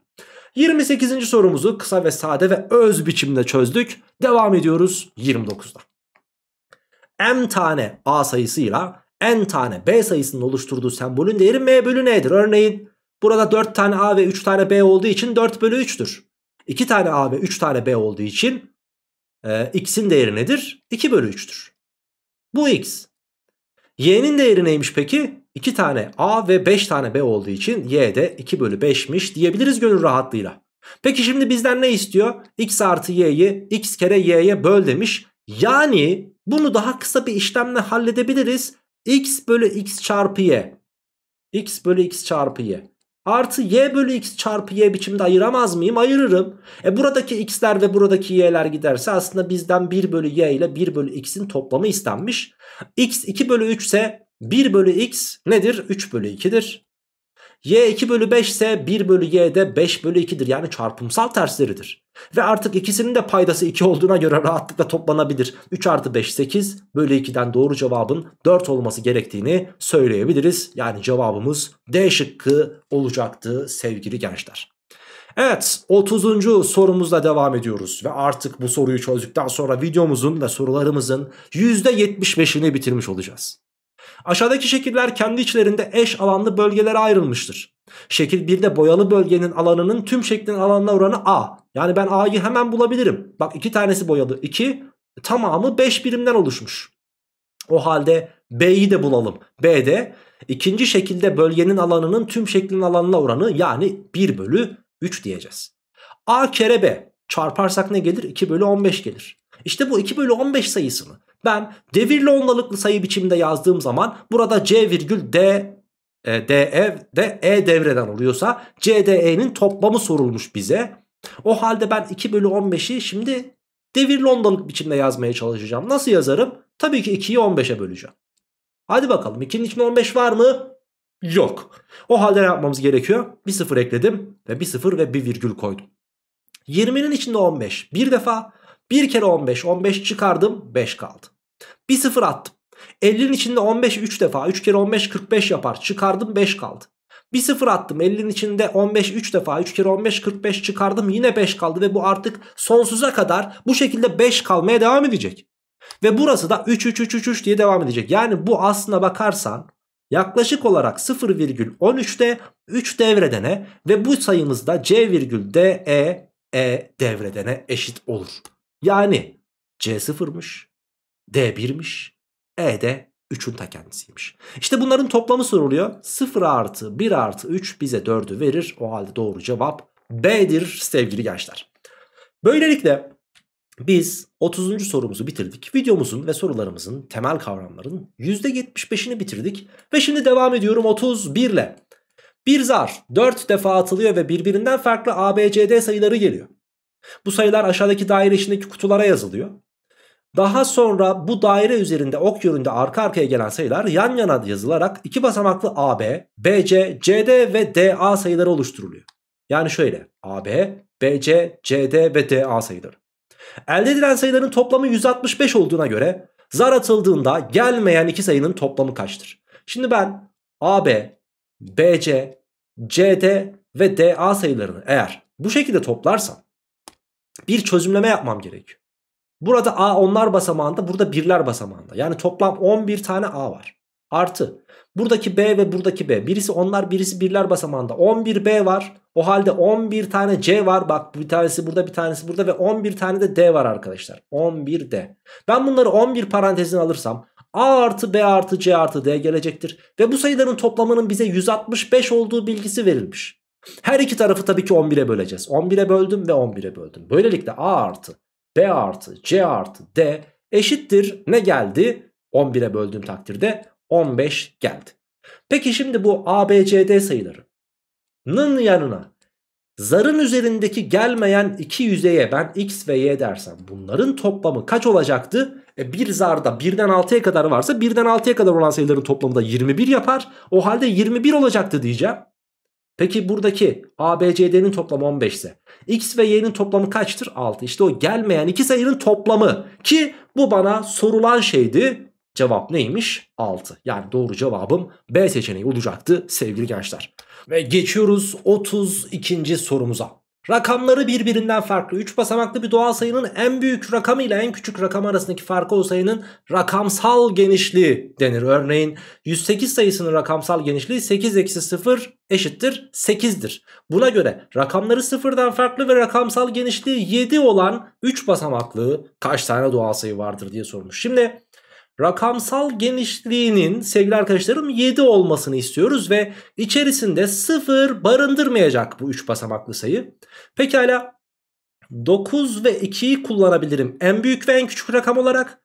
8 ve 1'i kullanabilirim. 7 ve 0'ı da kullanabilirdim ama soru müsaade etmemiş kardeşim. 0'ı koyma demiş. Tamam 0 yok demiş. Peki eyvallah. Johnson. Devam edelim. 9 2 ve yanına bir tane daha koyacağız. Peki bu nasıl olabilir? 9'u 2'yi ve yanına bir boşluk. 9 boşluk 2 ve boşluk 9 2 olabilir. Veyahut 8 1 boşluk 8 boşluk 1 ve 8 değil boşluk boşluk 8 1 olabilir. Pekala şimdi 9 ve 2 yanına yine rakam yazacağız ve rakamları birbirinden farklı olsun demiş bize. O halde buraya ben 2'den daha küçük yazamam. 2'yi de kullanamıyorum. 9'dan daha büyüğü zaten yok. 9'u da kullanamıyorum. Geriye hangileri kaldı? 3'ten 3'ten 8'e kadar olanlar. Yani toplam 6 tane. Demek ki buradan 6 tane sayı yazılabilir. E buraya da 6 tane yazılabilir. E hocam buraya da 6 tane yazılabilir. Aynı şekilde düşünecek olursak burası da 6, burası da 6, burası da 6 tane yazılabilir. Ama şimdi burada toplam ne geldi? 18 tane. Burada da 18 tane. Topladık. Cevabın 36 olması gerekiyor. Ama şöyle bir durum var. Ben buraya 9'u buraya 2'yi kullandım da dahası var. Ne?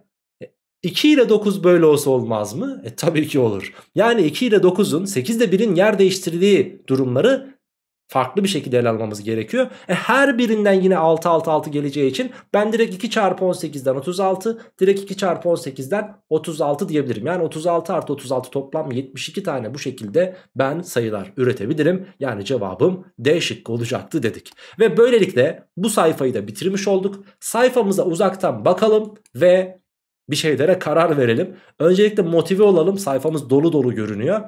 Sonrasında da işaretlemeniz gereken soruları ben size söyleyeceğim. Bak 1 29. soru işarette 31. soru işarette ve 32. soru işaretlemeni tavsiye ediyorum. Ve devam ediyorum bir diğer sayfaya 33. sorumuzdayız sevgili arkadaşlarım.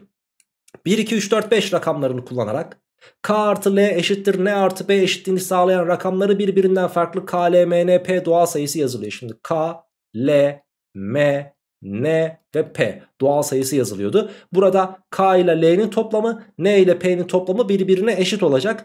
Buna göre bu şartı sağlayan kaç tane 5 basamaklı K, L, M, N, P sayısı yazılabilir? Sayı rakamlarda bunlar kullanmamız gereken rakamlar. Şimdi ben 1 ile 5'in toplamının 6, 2 ile 4'ün toplamının 6 olduğunu biliyorum. 1 ile 4'ün toplamı yani şu şekilde 1'e 4, 2'ye 3. Az öncekini de nasıl buldum bak kafadan nasıl öyle hazır yapıyorum. 1 ile 5, 2 ile 4. Tamam. Sonra devam ediyorum bak.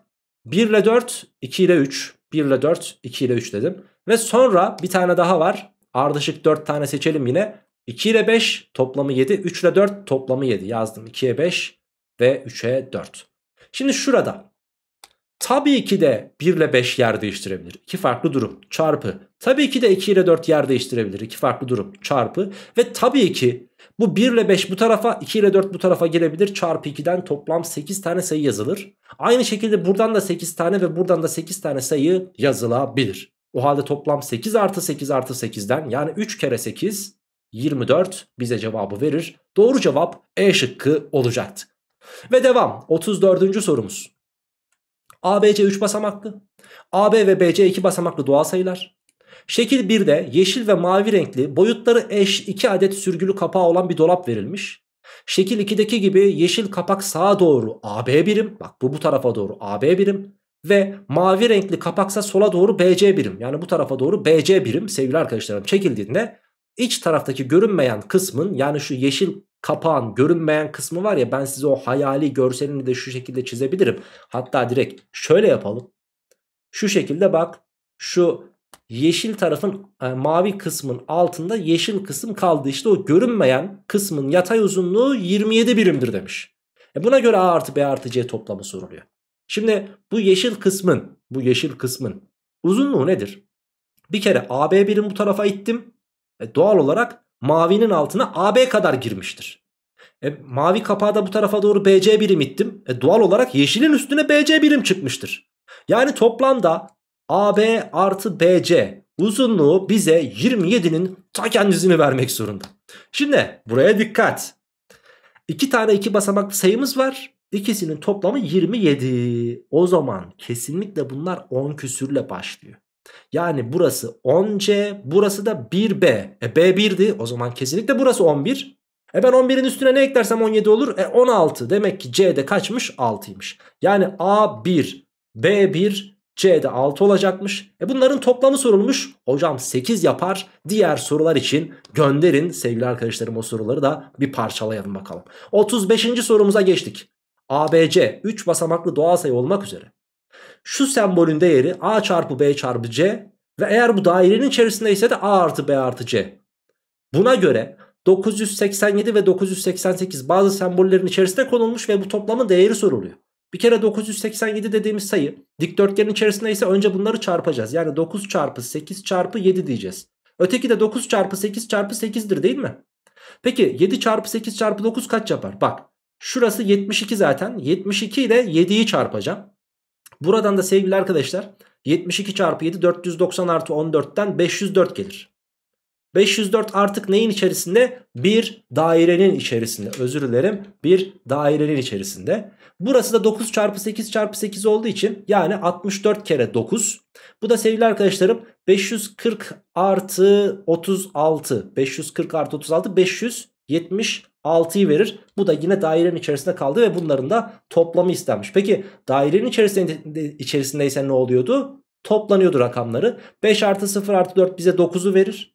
5 artı 6 artı 7 de bize 18'i verir. Bunların da toplamı 27'dir. O halde cevabımız da 27'dir diyeceğiz. Doğru cevap E şıkkı olacaktı. 35'i de çözdüğümüze göre geçtik 36'ya. Şimdi Yahya diye bir arkadaşımız var.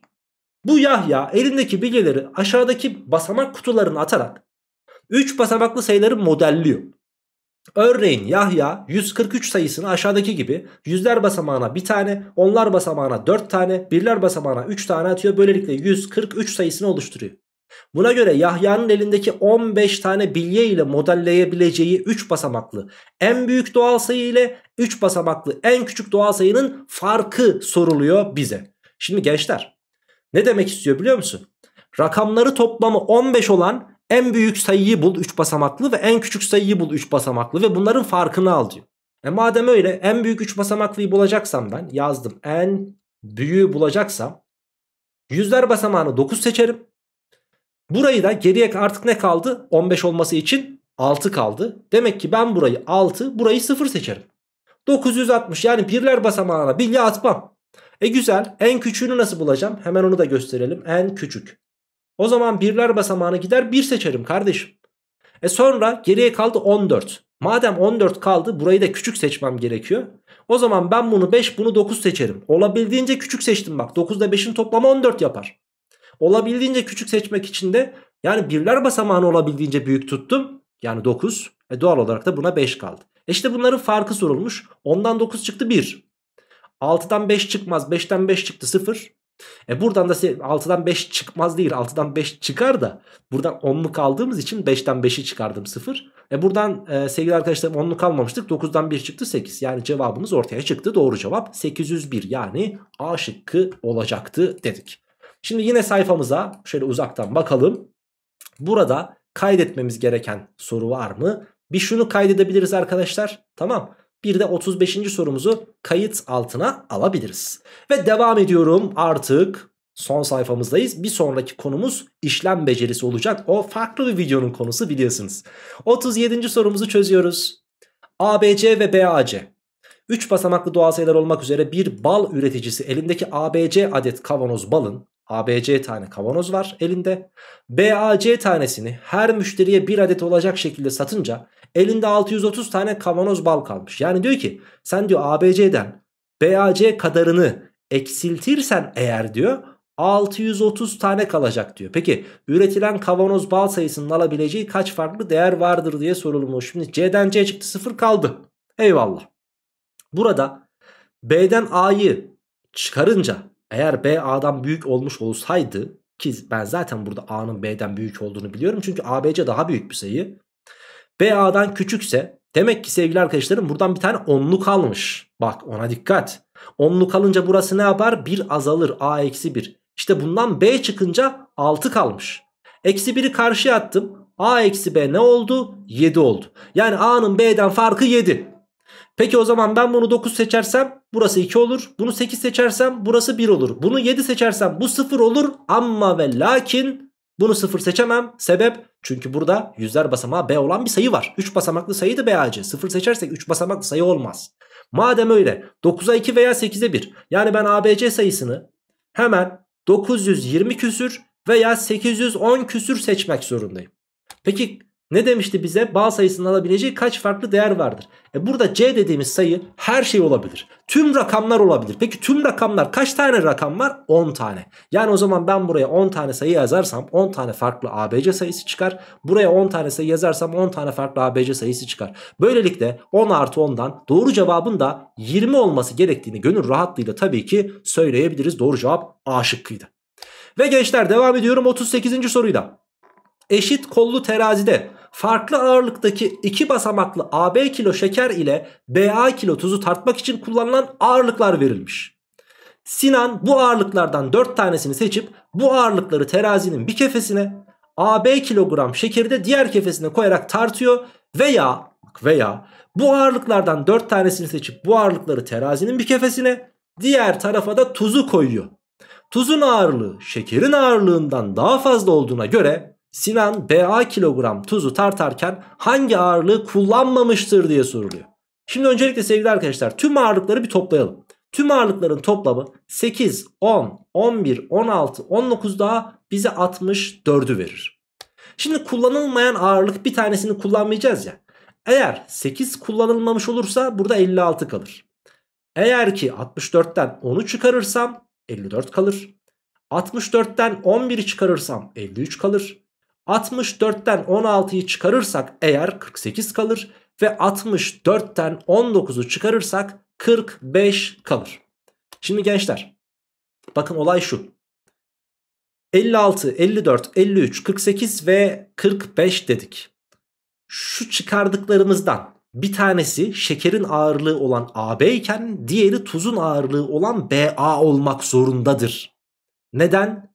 Çünkü sevgili arkadaşlarım bir tanesinde de yani şekeri tartarken de 4 tane seçiyoruz. Tuzu tartarken de 4 tane seçiyoruz. 4 tane seçiyoruz derken bir tanesini eliyoruz. Elenenler de bunlar.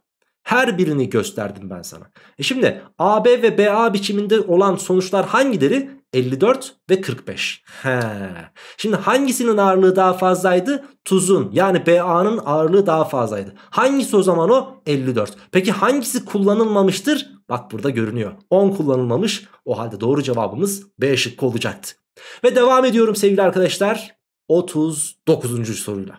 Aşağıda kendi içinde eş parçalara ayrılmış daire, üçgen ve kare kartonlar verilmiş. Her bir şekil boyalı parça sayısının tüm parça sayısına oranını temsil ediyor. Şimdi bak burası 3 parça ayrılmış ikisi boyanmış. O zaman ben buna 2 bölü 3 derim. E burası 3 parça ayrılmış bir tanesi boyanmış 1 bölü 3 derim. Şimdi 2 bölü 3'ten 1 bölü 3'ü çıkardım 1 bölü 3'ü buldum. Bu bana M sayısını verdi. Şimdi alttakine bakıyorum. Burası 9 parça ayrılmış. 1, 2, 3, 4 tanesi boyalı. O zaman burası nedir? 4 bölü 9. 1, 2, 3 parçaya ayrılmış bir tanesi boyanmış. 1 bölü 3'tür ama kolay toplansın diye oraya ben 1 bölü 3 yazmayacağım. 3 bölü 9 yazacağım ki buradaki 9'da paydası aynı olsun. Ve burası da yine 3 parçaya ayrılıp ikisi boyandığı için 2 bölü 3 yerine ne yazacağım? Tabii ki 6 bölü 9 yazacağım ve bunları toplayacağım. 6 bölü 9, 3 bölü 9 daha 9 bölü 9, 4 bölü 9 daha 13 bölü 9 yapar. Ki ya da şöyle yaparsın. 6 bölü 9 ile 3 bölü 9'un toplamı 1 ya. Sen buraya direkt 1 tam 4 bölü 9 yazarsın. İşte burada 3m ile n'nin toplamı sorulmuş. Bir kere m sayısı 1 bölü 3 olduğu için 3 çarpı m sayısı 3 kere 1 bölü 3'tür. Yani 1'in ta kendisidir 3 bölü 3'ten. 1 ile 1 tam 4 bölü 9'u toplarsan sadece tam kısımlarını toplarsın. Böylelikle 2 tam 4 bölü 9'un ta kendisini bulmuş olursun.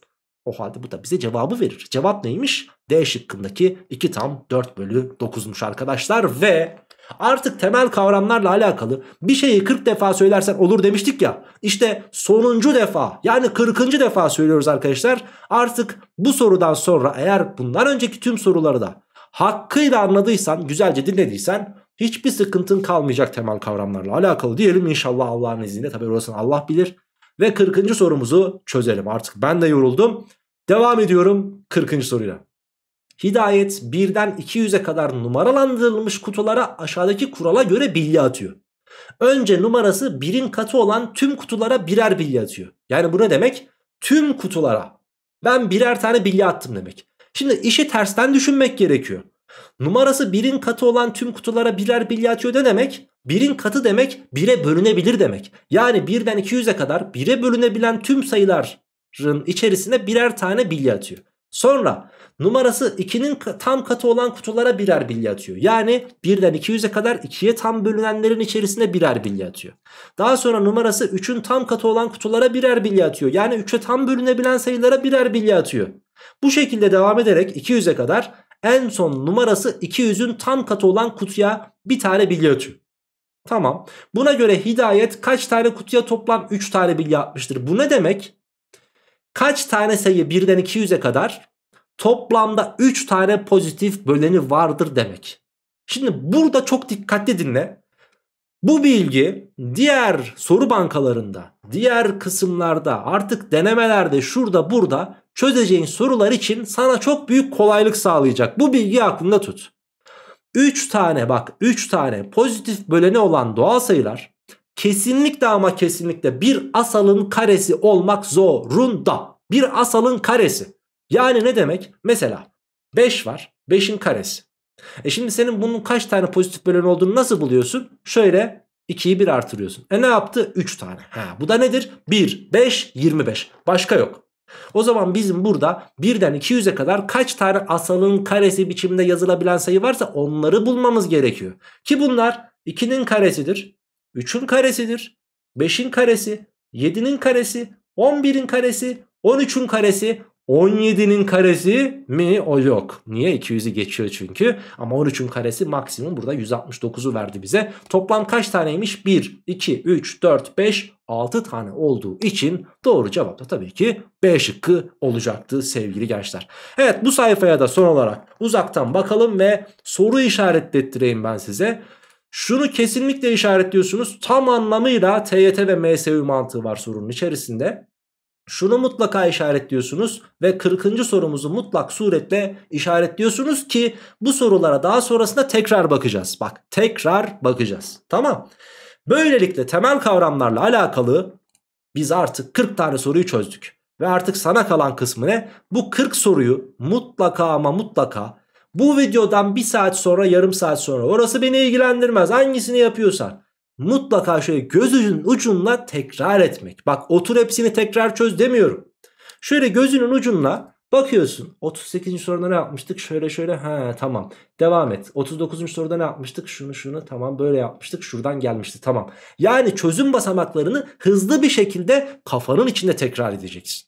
Eğer bunu yaparsan var ya bak sana söz veriyorum. Bana güven. Eğer bunu yaparsan temel kavramlarla alakalı bir problemin kalmayacak. Emin ol 3 ay sonra da kalmayacak.